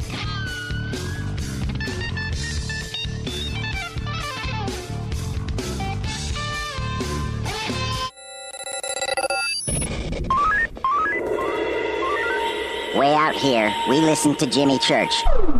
You're listening to Fade to Black. Always on the edge of the hottest alternative talk. Jimmy Church with Fade to Black. KGRARadio.com. ¿Qué tal mis amigos? Yo soy Mario Carson, el tiburón, y los invito para que escuchen a mi buen amigo Jimmy Church Radio. ¡Claro que sí! Not being able to fall asleep is so frustrating. The tossing, the turning, the adjustment of pillows and blankets. Ugh. Eventually, you just decide to get up and start your day really early. It doesn't have to be this way, though. Power Sleep is an all natural non prescription formula that will help you sleep like a baby. It contains neurotransmitter nutrients that promote the production of serotonin, which is responsible for feelings of well being. Power Sleep is easy to digest and absorb and is made in a base of active probiotics. Don't miss another night of sleep.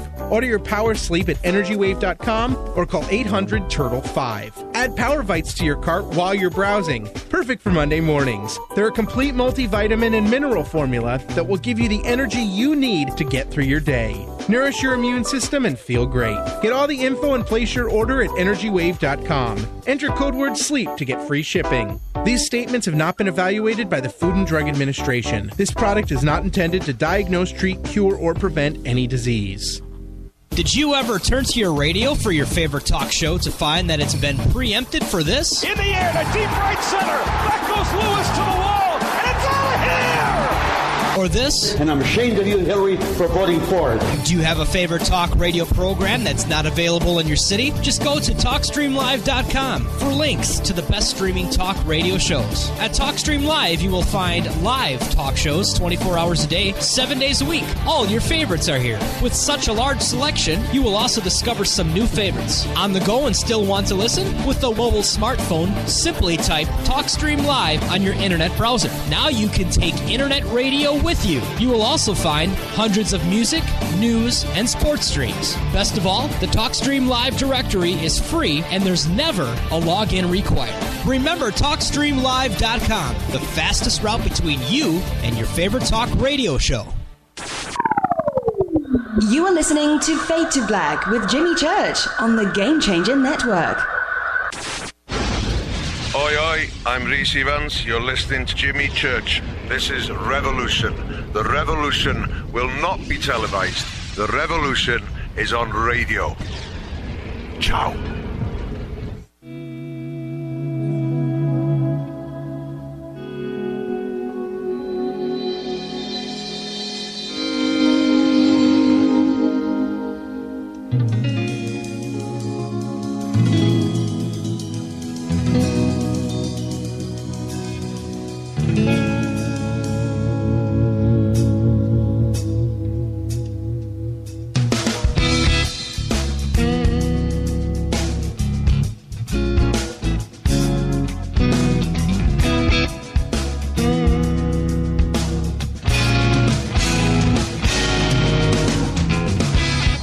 To Fade to Black. I'm your host, Jimmy Church. Tonight, our guest is Dr. Carmen Boulter.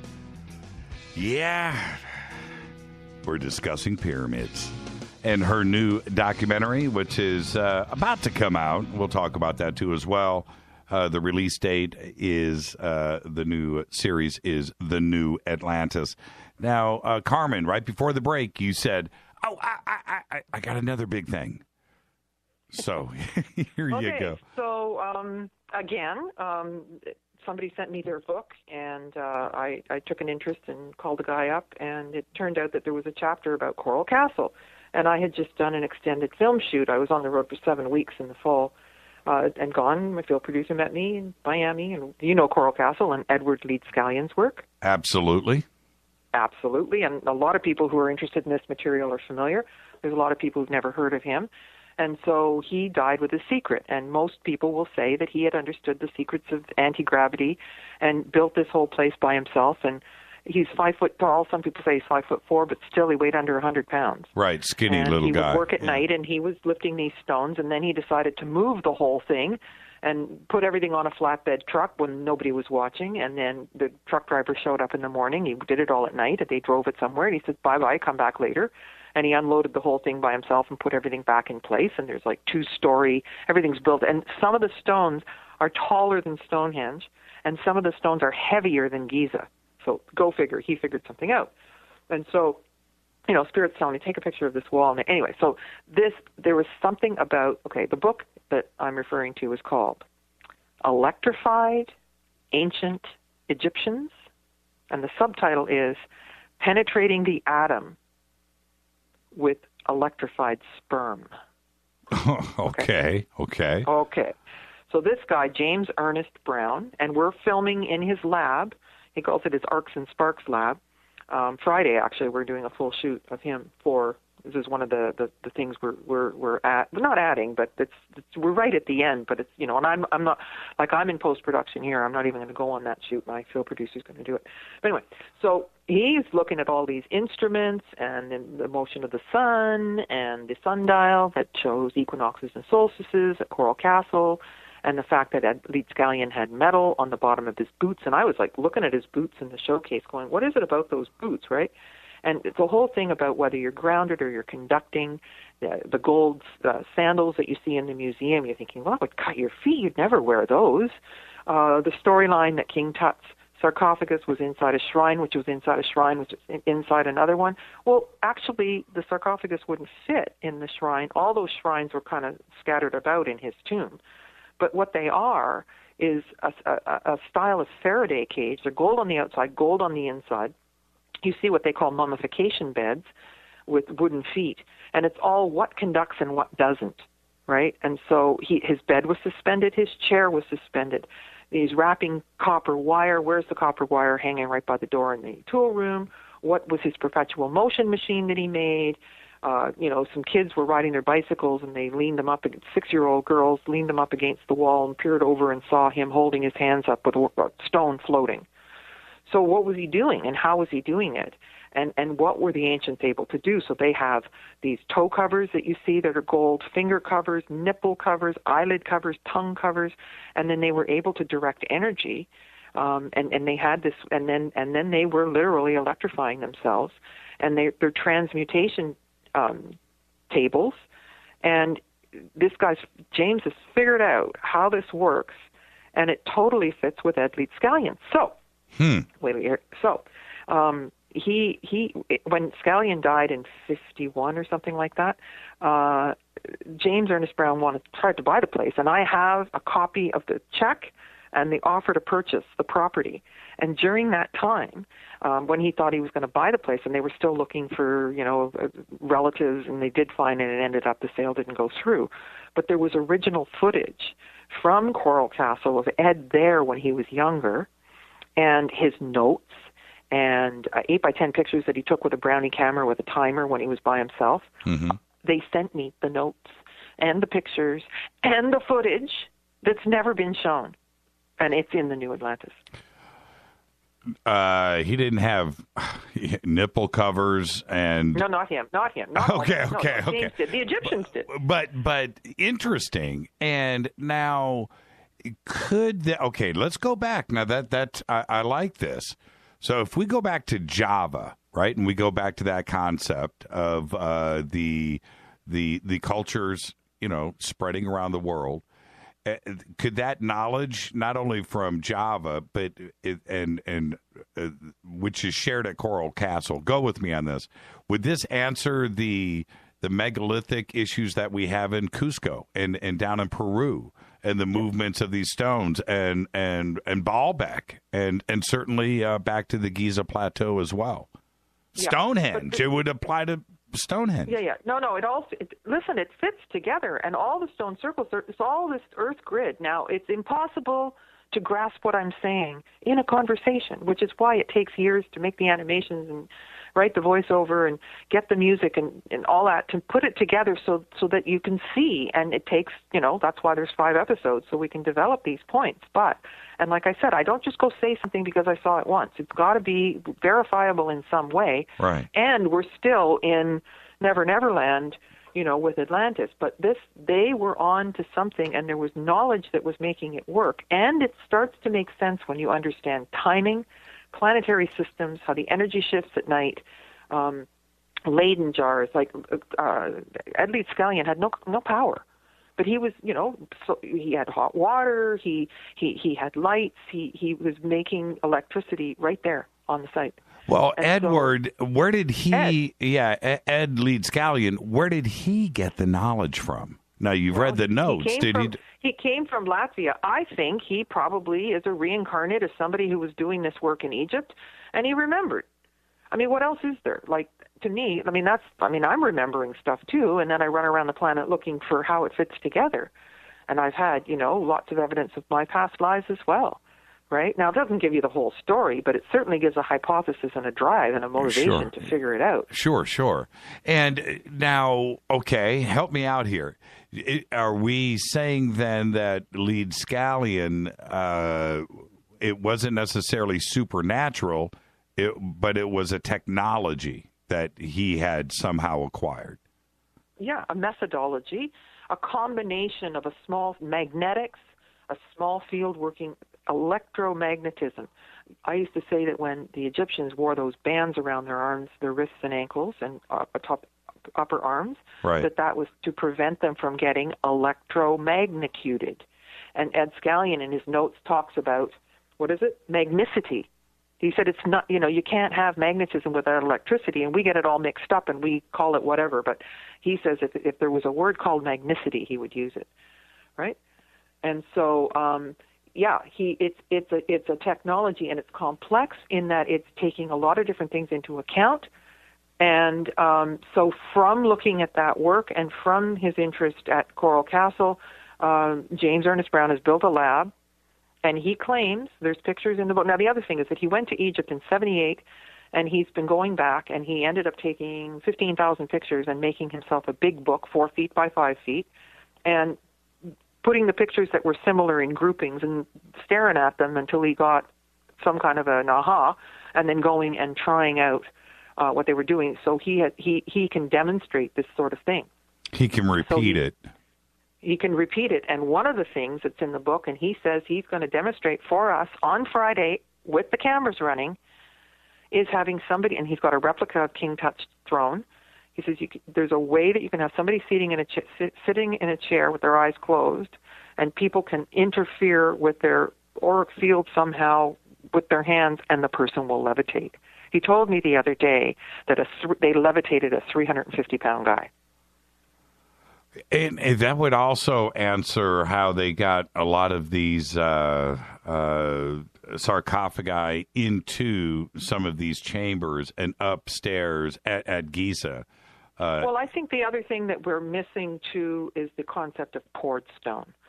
Joseph Davidovits goes into that, and I probably talked about that on your show before. I Yes. certainly have on other shows. Right. But there, the- even at, at Machu Picchu, I call them marshmallow stones. right. They're like yeasted buns, so it's almost like there's something in the curing. Yes. But they, they would they would expand, so that's why they didn't have you know seams. But how are you going to carry those stones up the top of Machu Picchu? The the base of it's at eleven thousand feet. The top's at fourteen thousand. I mean, come on, you can't, you know, and even at Abu Roash, you, you have to get the, pyra- the the stones up a mountain before you get them up the pyramid. So it makes perfect sense to me that they were working with some natron could have been used, um, and that's what they used for mummification. That would kind of they would make like swimming pool sizes of something like cement, Yeah, and I- then you know put the natron in it, and then and that's how Valery Uvarov did it. yeasted He- he had mold. yeasted buns. That's that's uh, the quote that's going to fly around on Twitter about a thousand times right now. Yeasted buns, because look, you're absolutely right. When you look at the the stones in not only not only in Peru, but the, it's the same kind of construction that is all over at different temples around Egypt too, as well, a- and around the world, where you have these fantastical fitting blocks that you know when you look at that there is no way somebody is carving that. They they they, they would have to have architectural drawings and and extensive math and geometry that goes into that kind of drawing and construction and engineering. Or they did something simple. They poured it Oh, they yeah. heated it and they molded it Well, and there's stuff now of two different plants in Peru that can soften stone. So it could have been a real stone. They softened the outside of it. And then all over Egypt, you see where some of the frescoes have come away from the pillars or the walls, and it's a construction underneath. and the the fresco part was applied. And so there's innies and outies, I call them, which would have been perhaps different molds. But then I started to notice, like at Kom Ombo, there was a whole row of the same kind of mold, but on the other side it was identical. And then there was another temple that had that same thing. And so I know that they were really using this as a tapestry to paint onto, well, paint metaphorically, to leave their secrets. Um, but some of it's repeated. Yeah, and, it, it's mirrored. quite clear to me that it was poured because after something, and Davidovits showed this, Right. that if you had something like granite that was poured after it cured, you can't tell the difference between something that's poured and something that's carved. Yeah, and, and when you when you see it mirrored, right, on one on one side, and then the exact same irregular shapes are on the other side, that that's a, that's a holy crap moment. And and then you see that over in Egypt, you know, Luxor or whatever, and then the exact same thing is going on in South America. Now you have this transoceanic transfer of knowledge that you're referring to coming out of Java, and it's the only thing that makes sense. Well, it's amazing. It's just it's the whole thing. It's I mean I'm I'm used to it now, but I've been keeping my cards pretty close, so I haven't really been talking about these theories. But I am piecing it together, and uh, and and and it it everybody brings their piece to the piece of the puzzle to the foreground, and um, you know James Ernest Brown has been working on this for 40 years, as I have. I went the first time in '77, and I've got 20,000 pictures, and so we've been staring at our pictures and going, "Oh, I've noticed something different." Same picture, and and we're still noticing different things, like on the ceiling of the Temple of Dendera yesterday. All of a sudden, we realized that Nut is standing on plas- the, the symbol for plasma fields.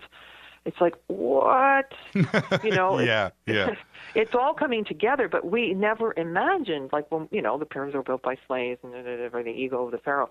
I mean, that's that's us talking, and that's gotten passed along.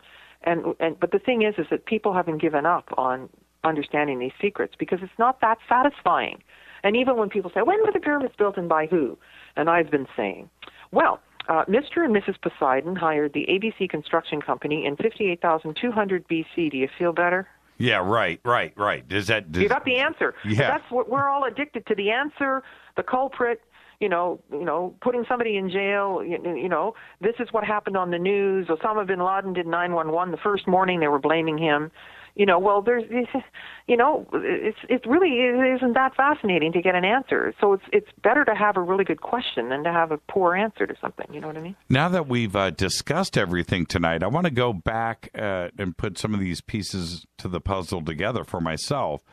You've been presented with images that look like, uh, oh, well, the carbon dating, 15,000 years old, uh, that, that represent different, uh, all of the different gods and are, are represented in these photographs. Now, that's 15,000 years old, and we have that gap that we're talking about in Giza and the new documentary is called The New Atlantis, and this information coming out of Java. Is some of this starting to come together for you? And and and was this a gift? Uh, your friend that sent you the uh, the images of these uh, of this treasure that was just found. Yes, and I well could have imagined that other treasures from Amarna would, you know, pop up somewhere. And we do have access to a lot of that stuff in museums. There's 900 pieces at the Metropolitan in New York and 800 at the Brooklyn Museum. So that's 1,700 pieces from Amarna just in New York, Mm-hmm. Right? And so, yes, this story, I mean, I feel very, very comfortable with this story now and uh, what they were up to. But the other thing is that, you know, I've been working with a composer. What would Atlantis, what, what would Atlantis have sounded like? what kind of instruments. So they first started giving me instruments with keyboards. I'm like, uh, when was the piano invented? A thousand years ago. No keyboards, sorry. But they we know they had brass and lots of different kinds of metals, and so there would have been horns, um, lots of percussion, their voices. But how would the voices have you know sounded? And so I've been working with um, you know different storyboards and the composer to try to elicit what the kind of music would have been, like Sundanese, whatever, and and and and you know, like the whole flamenco esque kind of thing, and then kind of animals would they have had, and you know, if the Minoans were doing acrobatics on bulls and whatnot, you know, they talk about Plato talks about uh, a racetrack around the out- exterior of the city. Well, how do we know that it wasn't like a a circus with you know, with acrobats and animals and you know, and and you know, different. th- There's different things that have come to me that, and and this has been a tough task. Like, how do I know what Atlantis sounded like?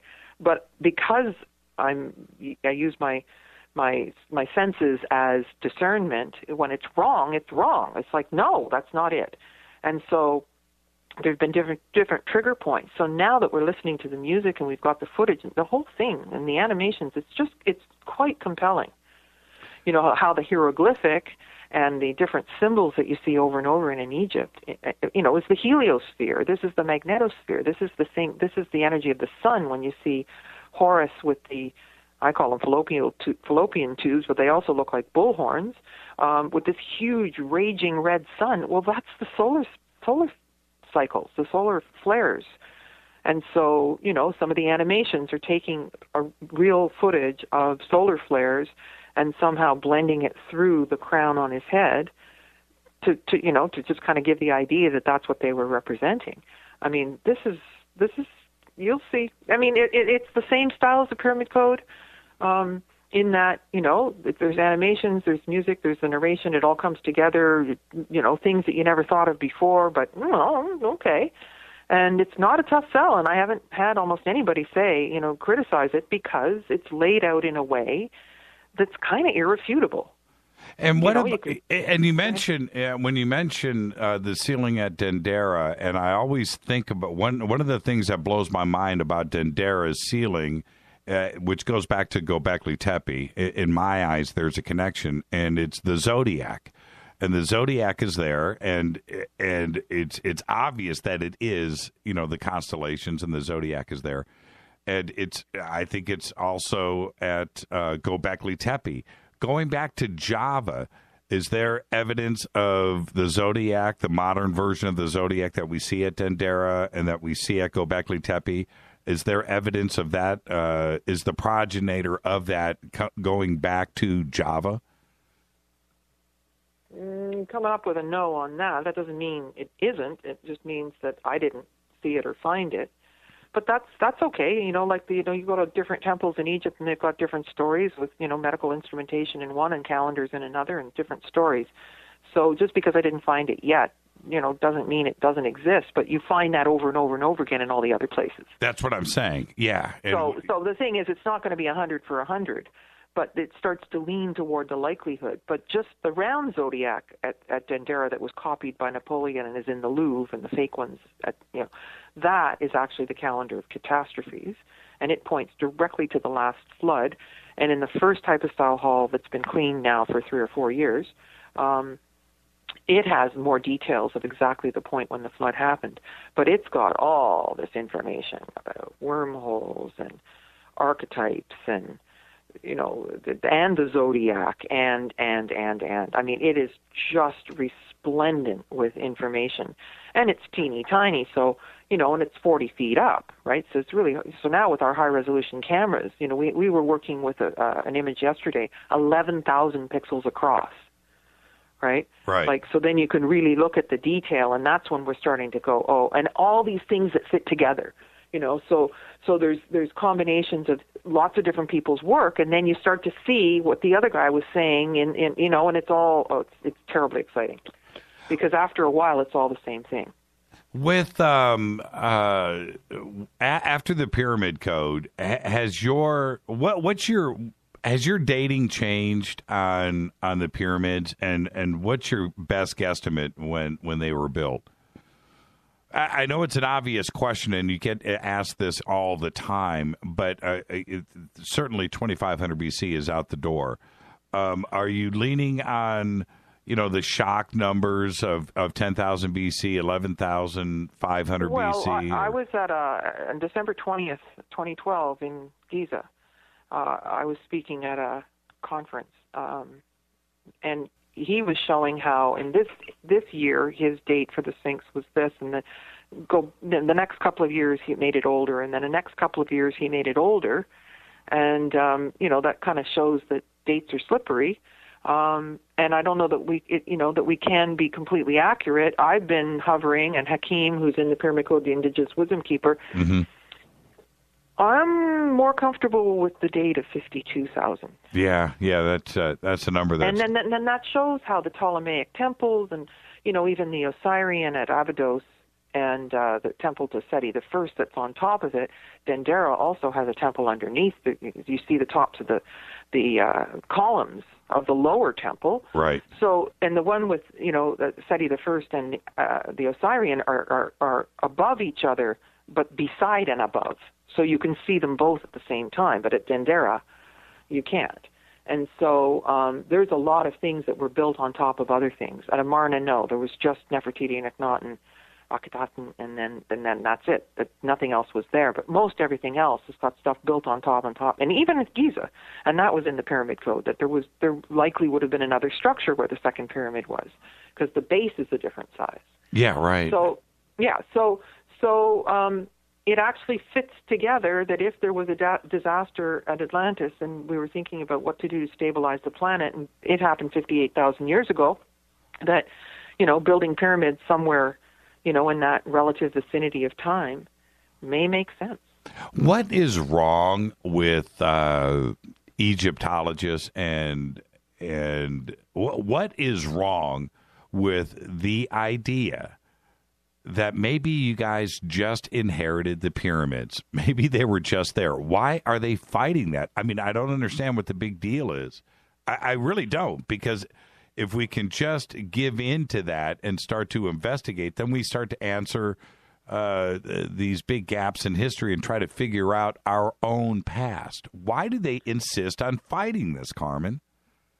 Well, it's it, wait a minute. This is the whole world. I wouldn't, you know, zero in just on Egypt. I mean, we everybody's kind of trying to toe the party line on everything. Right. And and and academics, you know, this is the, this is you know what is the, our story, and we're sticking to it.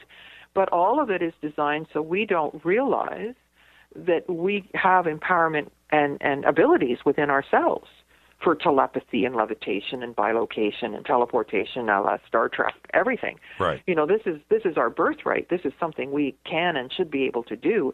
And we've been dumbed down to the point where you know we're we're obsessing over you know we're we're spectators and consumers. And and you know and that's why shows like this are important for people who who are still switched on and trying to come up with an answer. But maybe it's just easier that way uh people feel threatened uh they keep us consuming. They keep us giving us given we give them their our money. We give them our attention and they feed us back with the story of what is whether it's true or not. You i would- mean the dumbing down of people is is uh, the biggest tragedy i can see. You would think that they would have all the funding that they needed, and all of the support and the excitement of of this type of investigation, scientific work. That they, that it would be a great thing. I mean, you're right for the entire world, but no. Instead, they just fight it and they call you and I crazy, and I that doesn't Well, get fun- anybody yeah. anywhere. Yeah, absolutely. And the fun the thing is the permits are all shut down.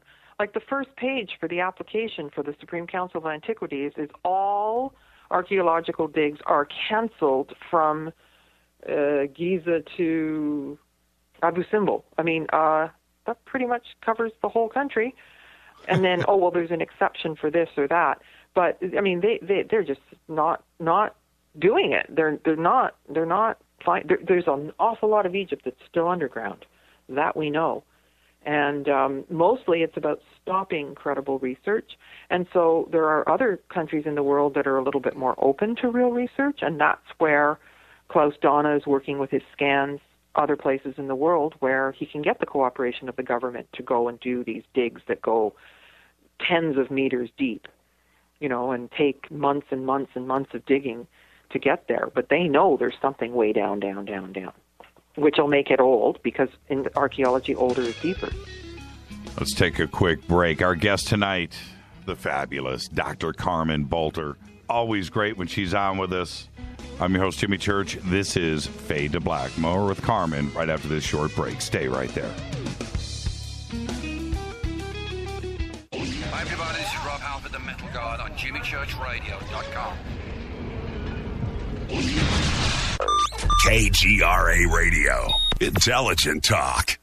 If your home has hard water and it's leaving white spots, then it's likely that limescale is clogging your pipes. Limescale can cost hundreds of dollars a year in wasted energy and early appliance breakdown. HydroCare systems available at Wave Home Solutions prevent and remove limescale with just a simple filter change every three years. There are no salts, chemicals, or magnetic coils. Satisfaction guaranteed. For more information, just go to bestwater123.com. That's bestwater123.com. If you're a talk radio fan, AccessRadio.net lets you listen to the best talk shows anytime and from anywhere. Works on your mobile or landline phone, and there's no cost if you have unlimited minutes. No need to use your data. Find your favorite talk show listen lines and discover new ones. Now you can listen on your schedule. Go to AccessRadio.net. That's AccessRadio.net. Save your favorite listen lines today. Hi, I'm Richard Dolan. When I'm not hosting my radio program, The Richard Dolan Show on KGRA, or writing new books on UFOs, I run a publishing company. I'm proud to say that Richard Dolan Press has published some of the most fascinating books available on UFOs and related subjects. They include Dr. Bruce Maccabee's classic analysis of the UFO cover-up, David Marler's breakthrough book on triangular UFOs, Dr. Richard Sauder's unique work on underground bases, and other classics by Grant Cameron, Chase Kloetzke, and Dr. Bob Wood. Not to mention intriguing works by Eve Lorgen and Laurie MacDonald that deal with truly bizarre phenomena. I'm proud to publish such high quality and original works, and there are several amazing books about to be released over the next few months. Go to richarddolanpress.com to learn more.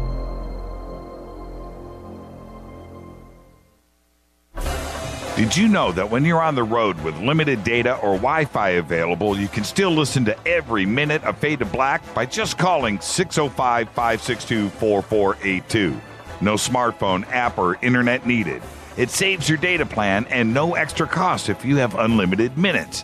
Just call 605 562 4482. You can listen to me, Jimmy Church, on any phone, anytime, anywhere.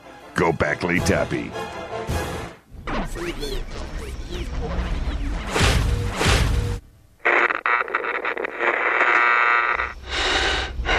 You want to know a secret? I love ponies. I really love ponies. I'm serious. I couldn't stay sane without ponies to brush. Why fade to black? Because you never got that pony, damn it. This is Fade to Black with Jimmy Church on the Game Changer Radio Network and KGRA, the Global Radio Alliance.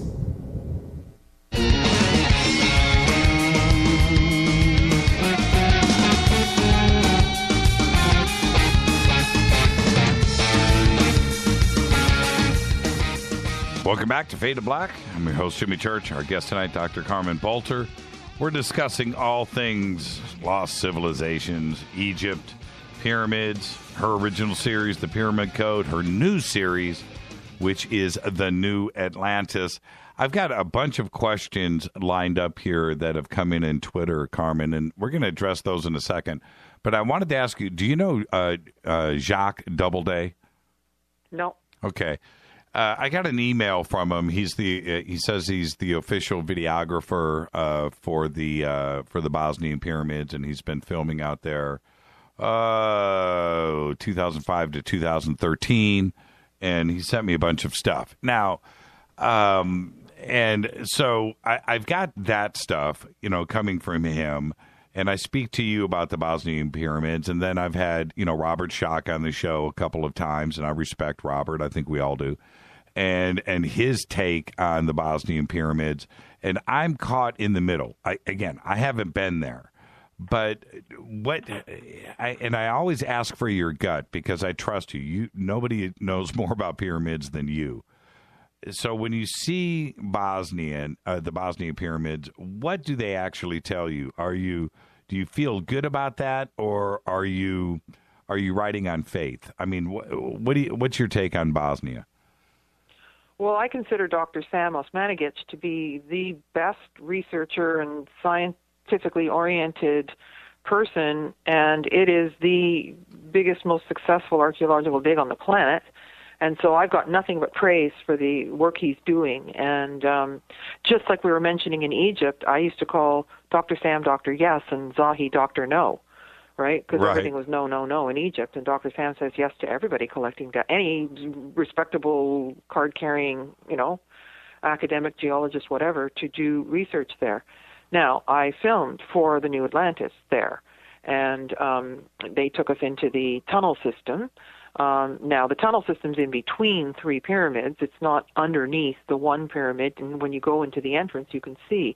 And that's the issue that some people have that he claims that they're under the pyramid, but really they're over beside, so he's lying. It's like, well, if you go there, he obviously knows where the door is and where the pyramid is. They're not underneath. He never said they were underneath, but we assume. Just the way there's passageways all around the Giza Plateau, everywhere. Anyway, so so I was filming in there, and uh, I didn't bring my water bottle. I'm on a shoot. I can't hold everything. We had to wear hard hats down there, and you know, and then I, you know, we were in there for several hours, and um, and then I started to feel like dehydrated, and my kidneys were seizing up, and I started feeling exhausted, and the camera was so heavy, and then we went into this room that they've measured up to 14,000 times uh, the, the regular ions that you normally would negative ions that you would have in any other place and there's this crystal pure water and all of a sudden I felt like the pressure come off my kidneys. I felt like, you know, young and strong and the camera weighed half as much as it did five minutes ago. I'm like, what is this place? You know? And he started to explain, you know, what it was used for. And the other thing is that we went to their museum and lab and uh Timothy Moon, who's the head archaeologist, I'm I'm filming him, and he's look what I found yesterday. I've called her Medusa, which is one of the chapters in my book. I nearly dropped the camera.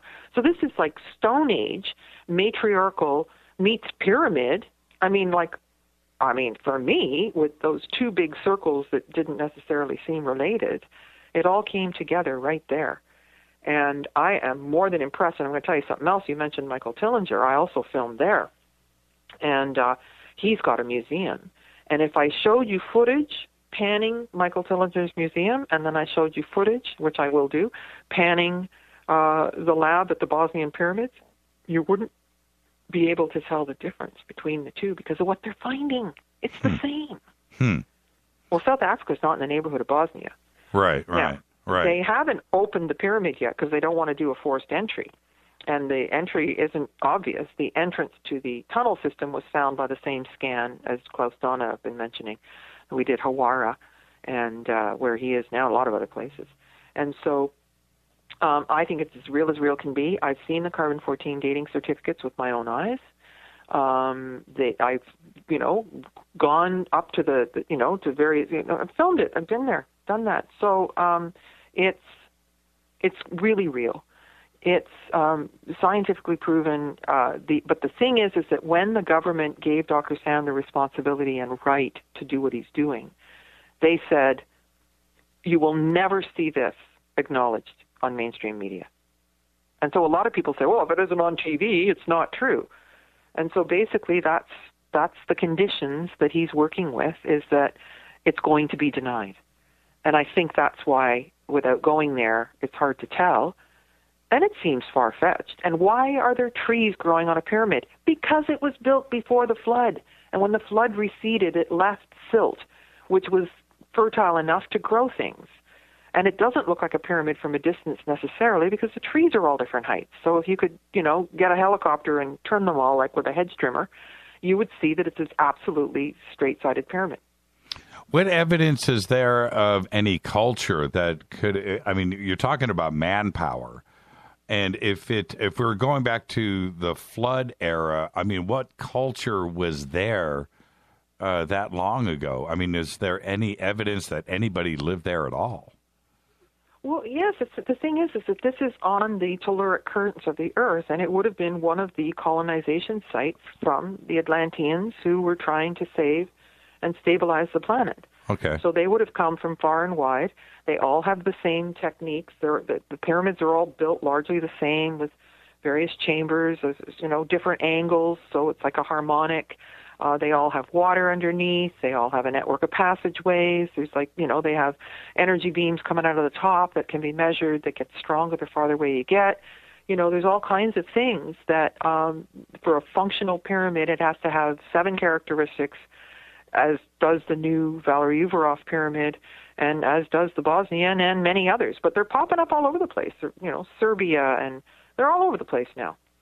Is the uh, is the basic the basic uh, design of the pyramids not only in Mexico and China and and uh, in Giza, uh, certainly Bosnia too as well. Uh, the same basic uh, construction, right? We're talking four sides, uh, square at the base, um, and the same basic height too as well. Uh, they're all basically the same geometry. Well, no, they're all different angles, and so you know you get the 51, 51, Right. Of the second pyramid, 53, 51, 52. You know, so the Dashur seems a little bit more splayed, but that and the bent pyramid has two angles. But that was all about harmonics. So the chambers are positioned in different places. But if you were thinking about huge resonance fields and almost like a wind harp, you know, or, or wind chime, or what do you call those? Um, it's well, I guess a wind harp. The wind blows through almost like you're blowing into a flute, and then they they end up resonating. So each of them has like a different note, or they harmonize with each other, and they're all connected to star maps as well. We find that over and over again, and so there, there there's characteristic features, but they're not all exactly the same, and they're not all exactly the same size either. But you know, Valery will tell you that, that that's not what matters. This is what matters. It's the double helix of quartz Hmm. under pressure. It's the orientation. It's it's the, there's different things that matter that we have lost our focus on. Angle is not one of them. Do you think uh, that there's a possibility? Now, this is look. I don't have a PhD or any three letter anything after my name, so uh, please respect me for asking such a dumb question. But do you think that the Red Pyramid and the Step Pyramid and the other pyramids, uh, uh, uh, excluding the Great Pyramid, that those could have been built after the Great Pyramid, and th- they were trying to imitate and duplicate the Great Pyramid and just didn't succeed? No, and that's what they say about the bent pyramid that they they didn't know how to do it and then they changed their mind and put another angle. That's in the pyramid code. No, I think that the network is very very deliberate and that the the sequence of where the pyramids are placed are telling us something. So from you know from Abu Roash to Dashur, this is also going to be in the New Atlantis.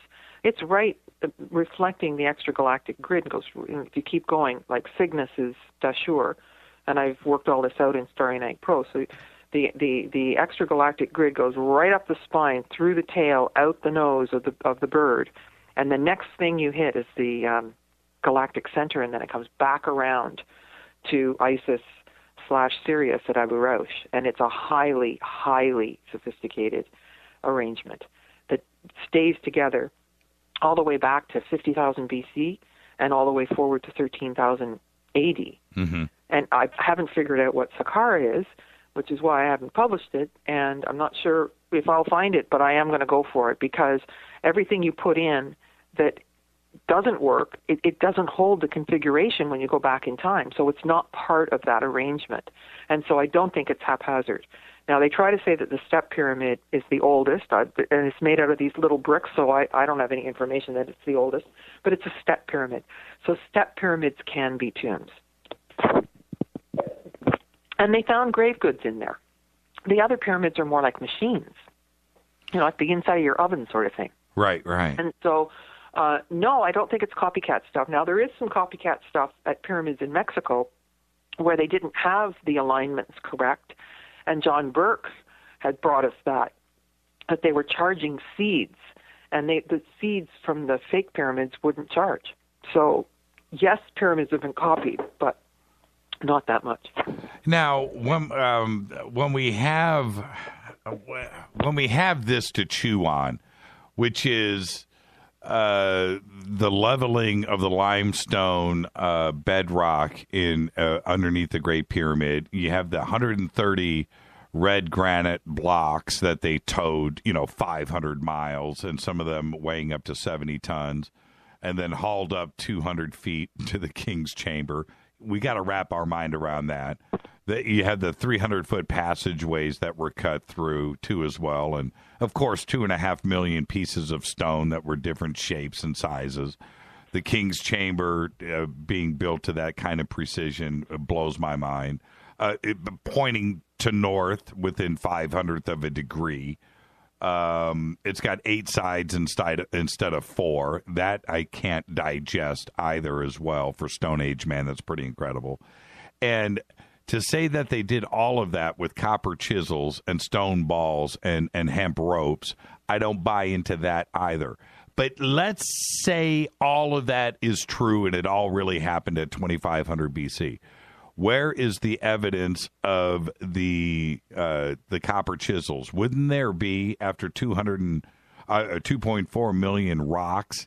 Isn't there five million stone chisels? I mean, the copper chisels buried in the ground somewhere. You know where? There's Are, actually three in the museum, and they're literally chisels. Uh, actually, John, no, sorry, David Sereda uh, came up with a reason why that uh, the angle the angle was in a few degrees. It's actually functional. They actually did it on purpose, and it had a yeah, it had a, a purpose to it. So it's not that they made a mistake. right. And um, yeah, so the thing is, when we say Stone Age men, we think of the primitive guy with the club dragging his woman around by her hair. And that's just not the picture of the ancients. That's something that's been repeated and repeated and repeated and repeated and repeated, which is what they do. They do propaganda. 911, you know, uh, you know, terrorists, terrorists, terrorists. They, they, if they repeat something often enough, you end up going, oh, whatever. I'm not going to argue with that. Right. And so that's just not what it was at all. And the, there's a Japanese team that tried to float blocks on barges from Aswan and bring them and, and lift them. And it took them a huge amount of time to um, build a 13 stone little capstone, not even as big as a capstone. Zahi made them take it down because all their the technique just didn't work. They couldn't do it. And so, um, yeah, and and even you know, I don't think the stones came from Aswan. I don't. Um, I do think that they that there was a completely different technology going on. I don't think it took you know thousands of people 20 years or whatever. Um, I I think that they had technology that made it not easy, but certainly not the way we do things. The you don't think the red granite came from Aswan? No. Where would it? Have, and I don't think the obelisks are done when you go to the granite quarry and they've got the unfinished obelisk. I don't think that's how they did it either. I think somebody went there and surmised what they did and tell everybody that's what they did. And it's like they put little wood things, they make chisel marks and they put wood in, and then they wet the wood and the wood expands and Right. the, the stone cracks. Well, that's it's far more precise than that. when I look at that, uh, the unfinished obelisk, and I and I look at that, uh, and and think about doing that with those flat surfaces and those angles with with stone balls. I, I just have to just. I, it sounds weird to say stone balls. it's I apologize. it. It's just not it It's at all. no, it's impossible, is what it is. It's impossible. It, it just can't happen. I can't. Well, the bottom line here is that the Egyptians would have taken the pyramids down. We don't have the technology to take them down. Have you ever? I talked about this a couple of years ago on the show, and this is where I get the mad respect uh, uh, for for uh, megaliths. Have you ever tried to cut a stone block yourself? Have you ever tried like a red brick in your backyard, Carmen, right? And get a stone chisel from Home Depot, right? To to cut your bricks so you can do a little brickwork in your backyard. Have you ever done that? Have you ever tried to cut a brick? Well, I have a water feature that's a, a, a face that's about two feet high, a goddess. And uh, it actually was a sculpture, and I was trying to turn it into a water feature, so we had to drill five holes through the top of the the, the hair Did it so that happen? the water goes down her face. Did it? it? Was, it took all day to drill five tiny holes. I gotta tell you, I cut. I had a I had a wheelbarrow full of bricks, right? And all I needed was one brick, one size. And you know, every single one. You know, you mess it up, you mess it up, you mess it up, you mess it. I'm just thinking, how did the, you really get a newfound respect for how they got that done? Because I couldn't cut one brick to the size that I needed to fit, so it would turn a corner in my backyard. I just couldn't do it. There's a stone in the Valley Temple that has 11 different faces on it. One stone. that Exactly. sit in the corner around the door and go over. You know, there's it's no there's no way it was done the way we're doing things. And now, and I know you miss Hakeem. Uh, What when when you discuss this with him? I mean, uh, did he did he give you the secret knowledge? Did he tell you how they actually pulled this off? No, but I have to tell you this. I saw him the other day. Um, I have a suite, and we came back from a film shoot, and uh, we looked through. The, one of my crew looked through the window, and the tenants were watching the Pyramid Code, and Hakeem was in the suite. so I got a real kick out of that. Say what? Say that again. Just that he was on TV, and we could see through the window that it was Hakeem in the suite because Oh. the tenants were watching the Pyramid Code. Oh, I get you. I kick get out you. of that. Um, and yes, I miss him very, very much. Um, uh, he understood some secrets. There's no question about it. And has he passed it on to his son? Well, the children weren't that interested in his work. Like I, I was with him every day that I was in Egypt when I didn't have a group for ten years, and it, you know, they'd come and bring him tea and you know, do things for him, but they weren't really interested in his work. So yes, I think that um, one of them is, is is is more in contact with him from the other side and getting some information and some wisdom, but it wasn't that direct. And Hakeem wouldn't say anything. He wouldn't share anything unless you already knew. He was pretty tough Zen taskmaster, if you ask me. So if I said, "Well, tell me all about this," he didn't know. But if I came back and said, "Well, Nefertiti and Akhenaten, I don't know where they this and this," and then he'd go, "Yes," and then he wouldn't shut up for three days. Right, But he wouldn't he wouldn't even start if I didn't already know. And I've watched that where we're having a certain kind of discussion and somebody who doesn't understand comes in the room and turns into word salad. So if you don't have the consciousness to receive him, you ain't got you're not getting anything but, you know, a nice afternoon tea with him. Uh, just oh oh oh. Okay, I have a couple of uh, quick questions I want to get out of the way, and then uh, we'll wrap this up. And again, thank you so much. Always great having you on. Um, is there is there evidence? Uh, what do you think about a fourth pyramid on the Giza Plateau? And is there something under the sand? Well, no, Hakeem would tell you that because he lived there his whole life, right? And his house is right there looking at it. Right. that there was a, another pyramid there. Um, and when they used it as an open quarry, I don't know what made it different, but they were able to take all the, the stones and they ended up building mosques and all kinds of things in Cairo out of the stones from the pyramid that they dismantled. Now, I don't know how they did that, and it probably wasn't as big as the Great Pyramid, but he, Hakim will tell you that there was another pyramid there. Not that it's buried, that it's just gone. Right, and so the uh, the bedrock for that uh, would just be under a few feet of sand, then, or, or ten feet, or whatever. Well, we don't know. I don't know. Yeah, yeah, interesting. And uh, Dennis just said, uh, this is in Twitter. He says, "The Indiegogo is over, but can you please ask Carmen if she's still accepting donations somewhere else?" Oh, thank you very much. I'll put something on my website um, in the next day or two where you can contribute, and I appreciate that very much because we we are short to finish, and that's slowing us down. So it would be really good if we could get some help with the final editing. And what what's uh, the timetable looking like now? Uh, release date? July. And I'm sticking to that. It may take longer, but I'm really, uh, you know, we're going to dance as fast as we can on the way to July because it's been, you know, it's, it's time. It's time. We've got the pieces. It's just a question of, you know, baking the cake now that we've got the ingredients. Who did the music? Uh, one of my favorite parts about the Pyramid Code is is the music. Uh, how did you get well, that I done? did. I did think I was going to work with uh, Michael Damon, and uh, I think he nailed the Pyramid Code music fantastically. And when I pitched the New Atlantis, it was coming back more. I said I do not want it to be Pyramid Code esque. It can't sound the same. And so it didn't work. So I'm working with a man named Coco Barajo. Not pronouncing his last name right, out of New Jersey. And he works, he's got his own sound studio and he works with jazz musicians and whatnot in New York. He's very talented. And as I said, he delivered 14 tracks to me yesterday of final final pieces that we've been working on together. And who's narrating? I'm looking at Sally Jennings still, the same narration. Mm. Um, for continuity, everybody liked her, and she's Mm. very easy to work with.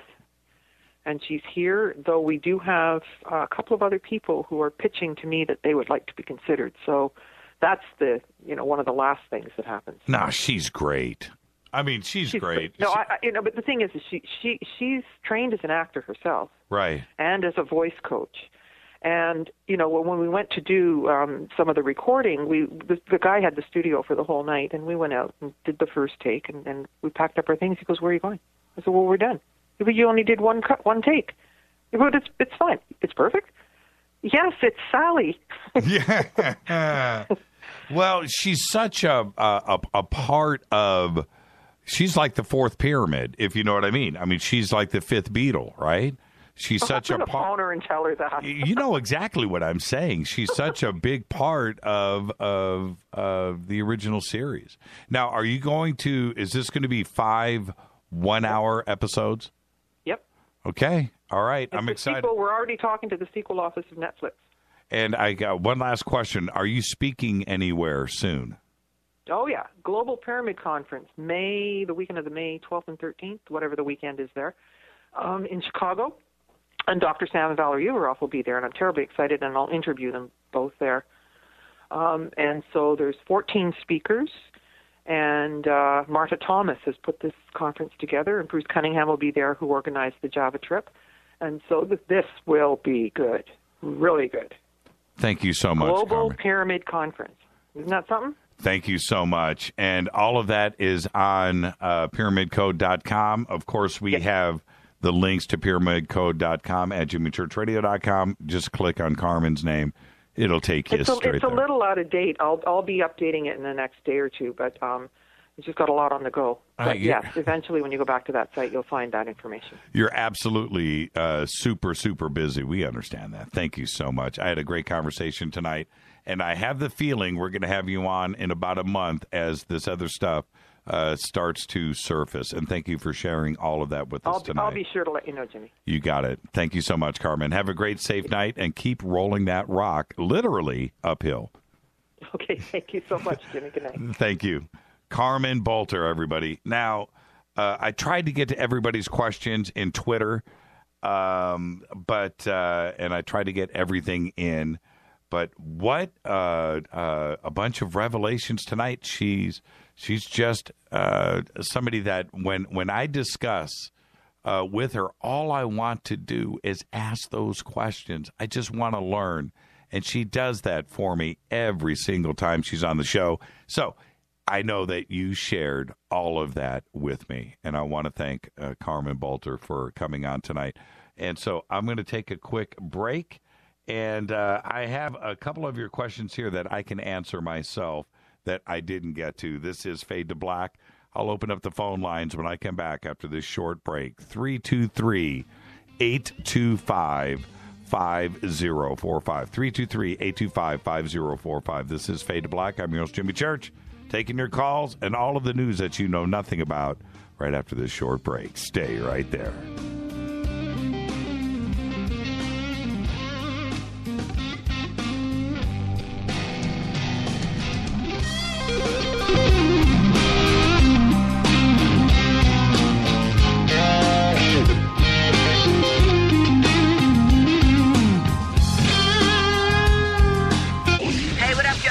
Vivica Fox here, and you are listening to my boy, Jimmy Church, on JimmyChurchRadio.com. Despite popular opinion, reading a book will not make you smarter.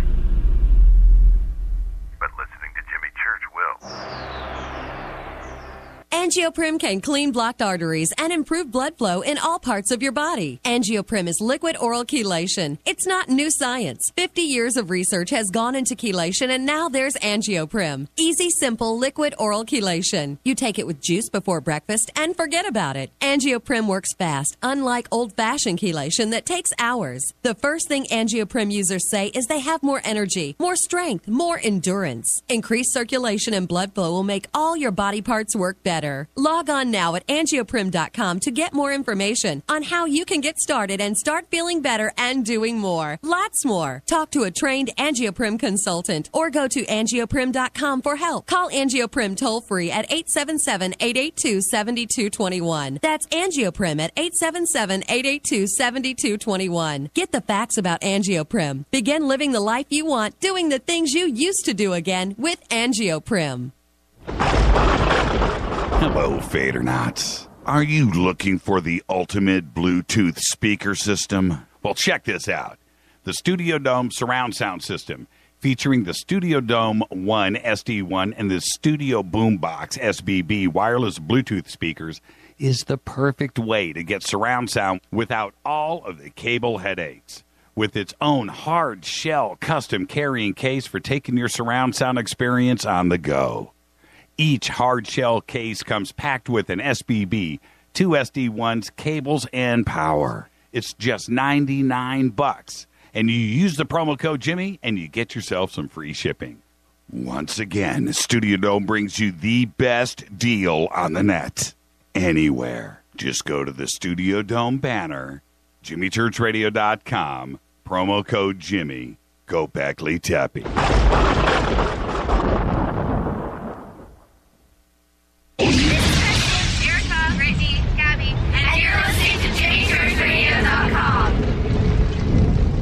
It's not a lifestyle we chose.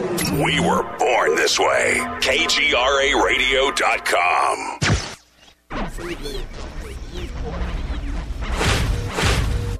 This is KJCR at JimmyChurchRadio.com.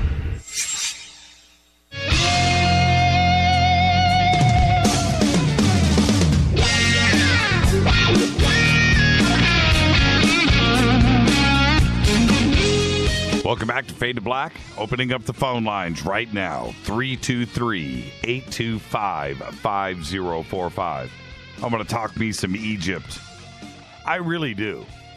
323 825 5045. What do you think? You know, do you go with the dogma that has been stuffed down our throats forever about Egypt and about the pyramids? You know, uh, Carmen has been there, right? She's been there. She's walked around. She's touched. She's photographed, videoed, uh, did one of the most successful documentary series, uh, The Pyramid Code, on Egypt ever. You know, uh, her and John Anthony West. It, uh, those, if you if you can set aside a weekend and do the Pyramid Code and uh, and John Anthony West nine part series, do those back to back to back to back you'll you'll walk around acting like you know something. Seriously. Now, but the the dogma, right? That 4700 years ago, 5000 years ago, the Egyptians leveled a limestone hill the size of 6 soccer fields. Piled up 2.4 2.5 million rocks all of different shapes and sizes, not even consistent, to the height of a 42 story building, right? eh, carved 300 utterly straight, uh, 300 foot tunnels into a granite chamber, red granite, that they brought 500 miles from Aswan.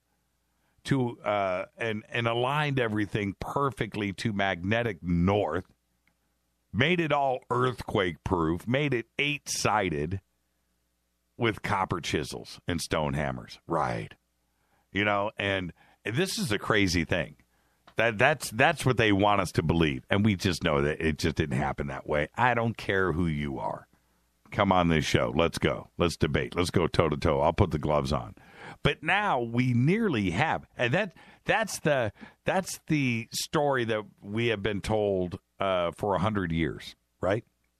Now, now, today, we nearly have the same set of issues with Gobekli Tepe, and it's six thousand years older. So you can't have it both ways. You cannot. Is Gobekli Tepe is big? You know what? It's as crazily complex and nearly as big It's over, you know, it there's 25 of those stone circles there now, built over uh, 1,000, 2,000, 3,000 years.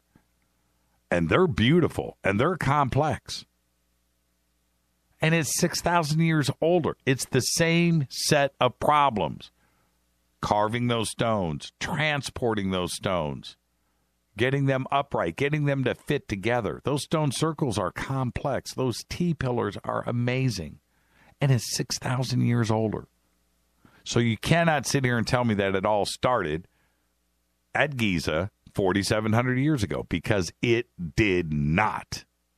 End of story. Hi, you're live on Fade to Black. Who's calling? Hello? Yeah, you're live right now. You're oh, on Oh, the air. This is my first time calling in, Jimmy. And what's your name? It's Cassandra. Hi, Cassandra. How are you? Hi. I'm good, thanks. How are you? I am fantastic. Did you enjoy the show tonight? Oh my gosh, yes. I came in right as she started. Um, and uh, actually, this is my first time finally calling in live. Uh, last week, I called in to uh, Jeff Harmon and on Friday, but you did your show on Thursday, and I kept calling and calling. Oh, yeah. ringing and ringing and ringing. Yeah, the studio was closed, Cassandra. Yeah. Sorry about that. Yeah, so now I'm now I'm on it.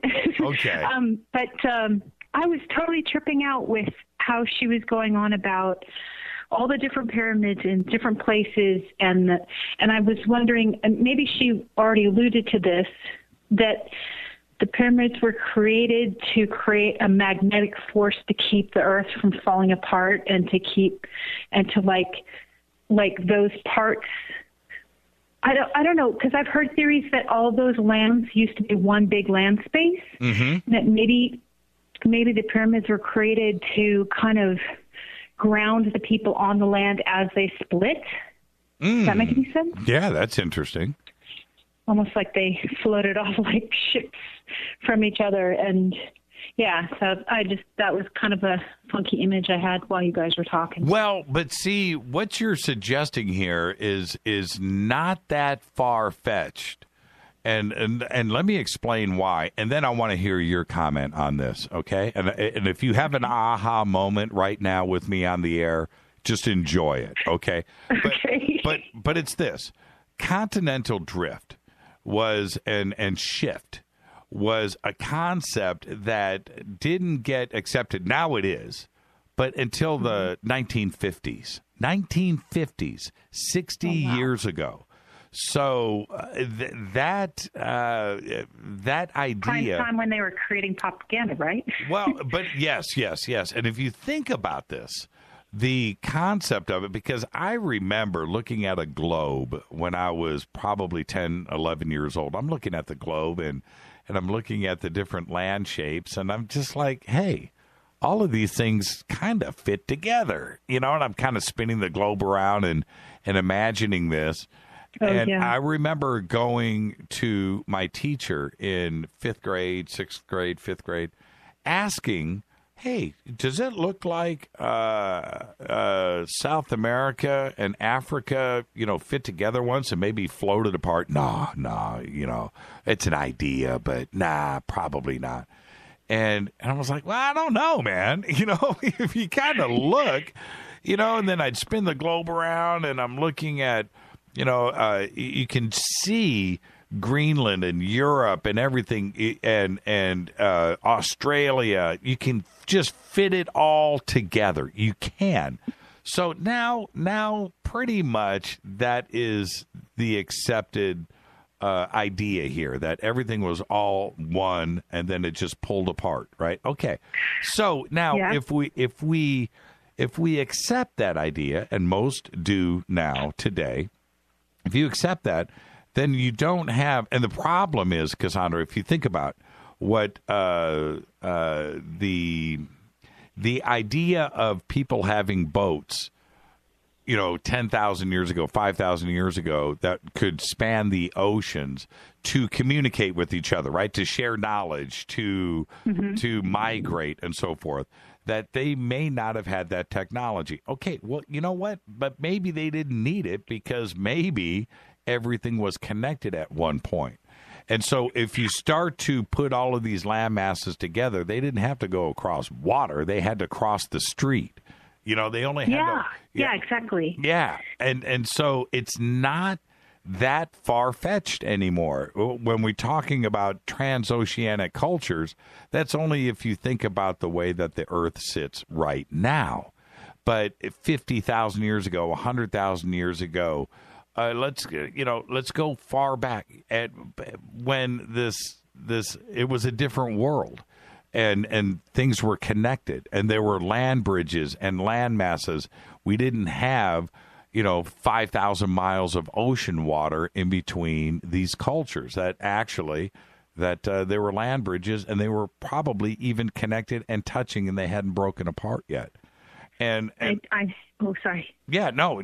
Now, now, when you suggest the uh, not only you but Carmen that these cultures, certainly at a, a, a pre-Atlantean or Atlantean, uh, post-Atlantean, pre-Atlantean, both, that these cultures shared their knowledge and went out and migrated around the world, and they took that knowledge with them for the construction of the pyramids um, uh, for whatever reason. For her, it was pole shift, right? That we uh, we had a pole flip and and north went south and south went north, and it was cataclysmic. And they wanted to prevent that, and the way to to prevent that, and it's a good theory, it's a good idea, was to magnetically connect and electrically connect uh, pyramids around the world to.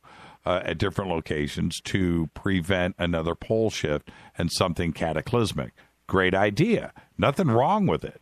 And the reason why I don't have an issue with that is today our entertainment is television, right? We go to the movies, we have our cell phones, we have our tablets, uh, and and so forth. Uh, nothing wrong with that. But ten thousand years ago, fifteen thousand years ago, five thousand years ago, fifty thousand years ago, you know what we had? We had our minds. Oh and, yeah. and that's what we advanced. And that's when we talk about, uh, uh, she brought up teleportation, but how about just telekinesis or the power of the mind? Telepathy. Telepathy, absolutely. Um, And uh, astral projections and so forth.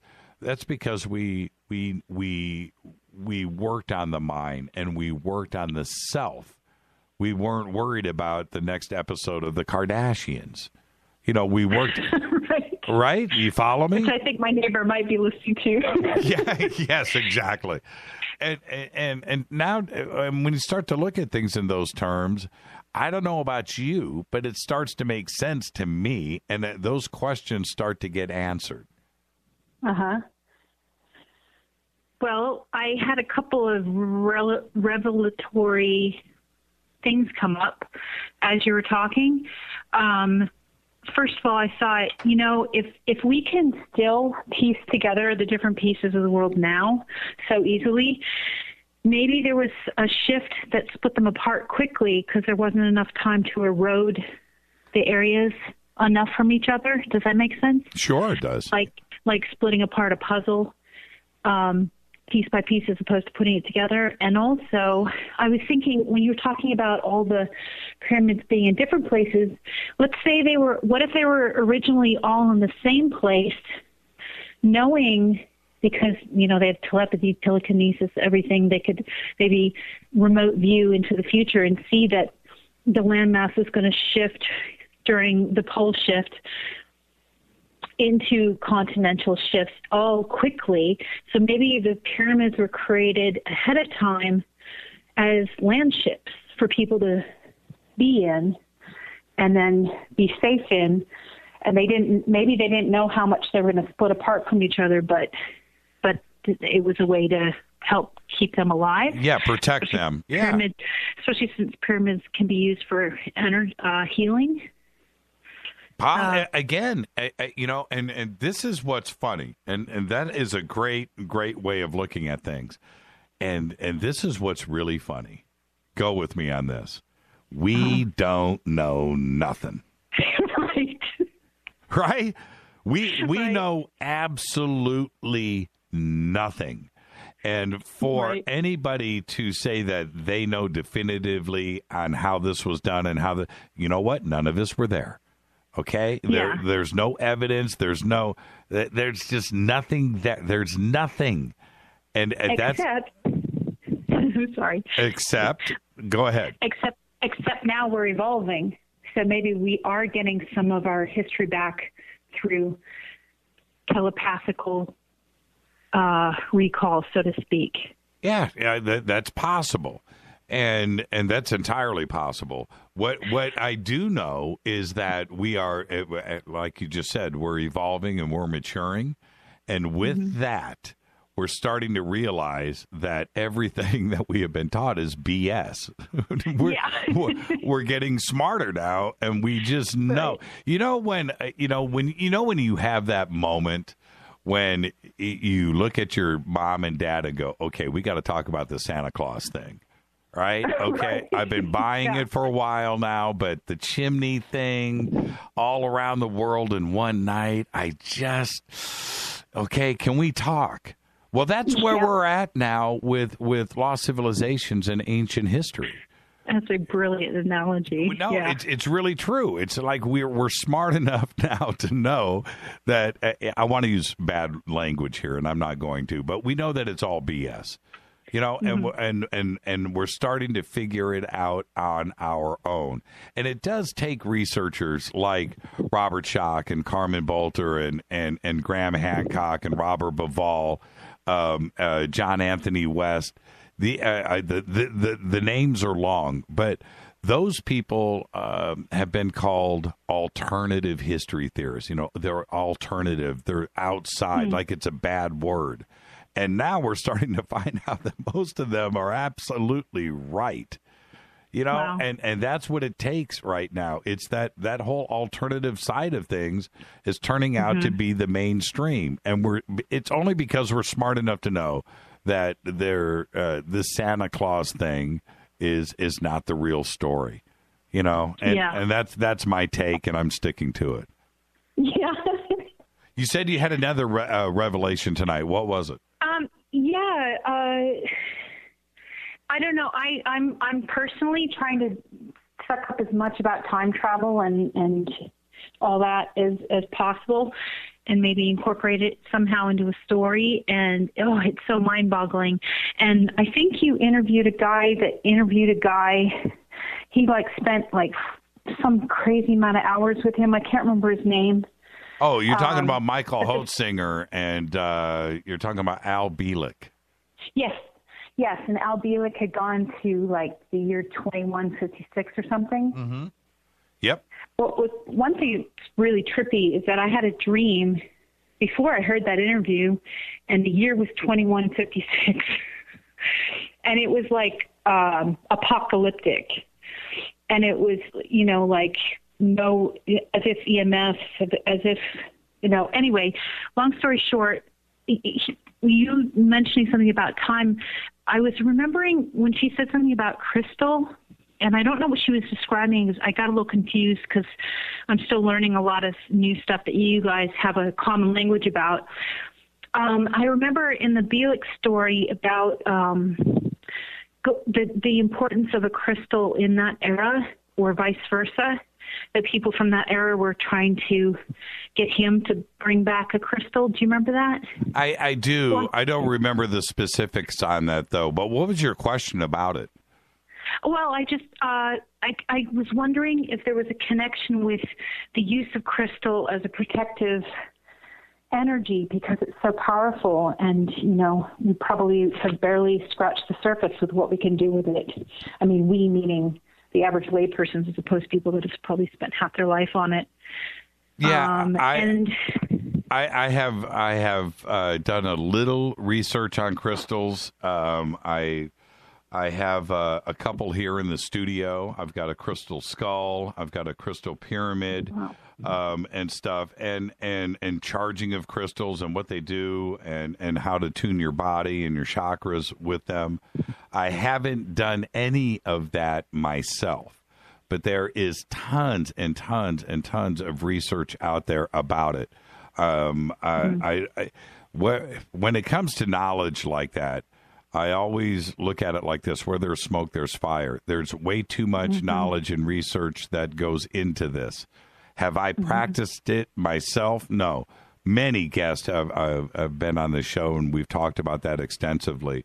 Um, I, I, I, um, I'm comfortable enough to have a crystal skull sitting here staring at me in the Yeah, studio. that phrases you. I Y- find a little wow. but uh, uh, but but thank you uh, for being a Yeah, cour- courageous enough to call into the show, and it's it's a really good thing. And welcome to the family, Cassandra. You should jump. Thank you. Have you jumped over am to Twitter? I an official Fadernaut now? Yeah, you are. You've you've you've uh, put your toes in the water. Uh, have, Awesome. I haven't figured out the Twitter thing yet, but okay, get on Twitter and come hang out with us tomorrow night. Okay, thank you so okay. much. Okay, thank you. You got it. Thank you so much, Cassandra. There you go. First time caller. Love it. Absolutely love it. Okay, before uh, phone lines are open, I, I want to get back to uh, some of the news that has been breaking. And uh, where was I with it? Uh, here we go. Bookings from would be space tourists planning to fly with Richard Branson's Virgin Galactic Limited have recovered almost to the level seen before the fatal breakup of its Spaceship Two rocket plane back in October 2014. Um, oh man, somewhere, uh, Rita, somewhere we have pictures of me with uh, Spaceship One out at the Mojave Desert. Uh, we took a bunch of pictures. I went out there and uh, uh, was able to go out with uh, the Virgin Galactic crew. They took me out onto the runway there, and I took a bunch of pictures. And we have them somewhere. I need to pull those up. We need to post those. Those were taken back in like 2008. But uh, anyway, uh, th- I was just thinking out loud. About 25 of the 700 fee paying clients, they had 700 that signed up and paid in advance. 25 withdrew from the program after the crash in the Mojave Desert uh, that caused the entire project to be put on hold uh, just months before the first commercial flight. Some of these were refunded and their deposits and so forth after the crash, but they have asked for their tickets back. It looks like the replacement uh, plane is about ready to go and it is advancing, but that is really good news. Um, and yes, check this out. Go with me. Oh, Rita just said, I don't know where those are. I wasn't alive in 2008. Uh, thank you for that, Rita. Um, yes, it was actually 50 years ago. And now a conference is being held this weekend to recall a time of unusual lights, floating disc, and other alleged UFOs in southern Michigan. Yeah. In March 1966, students at Hillsdale Col- College reported a UFO had landed in a softball field. And if you remember, uh, Gerald Ford was, I think he was governor, right? Wasn't he governor of Michigan when all of this started to go down?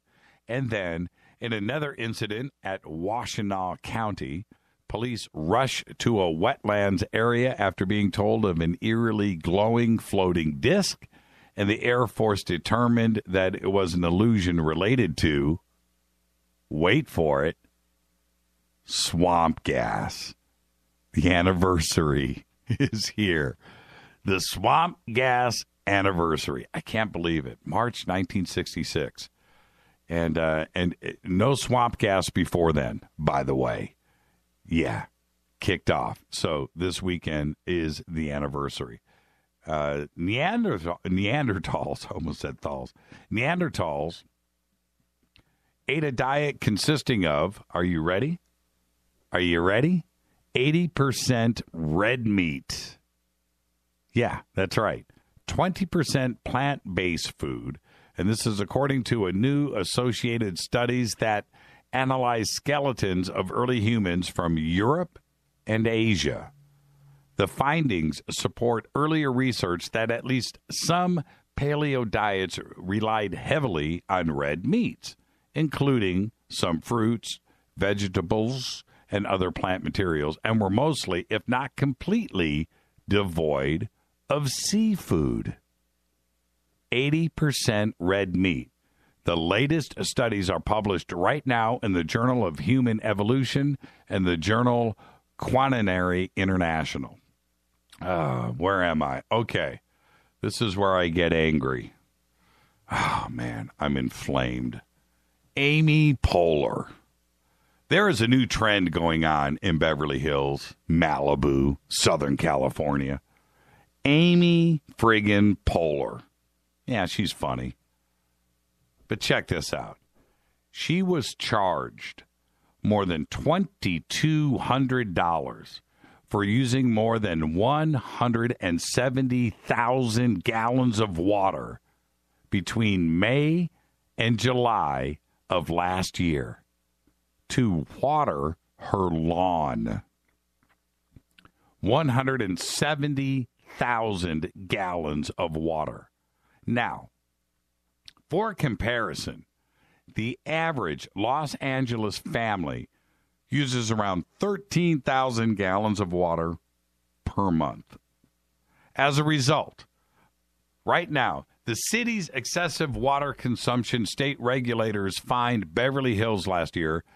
The city subsequently sent letters to various culprits, urging them to reduce their high water use.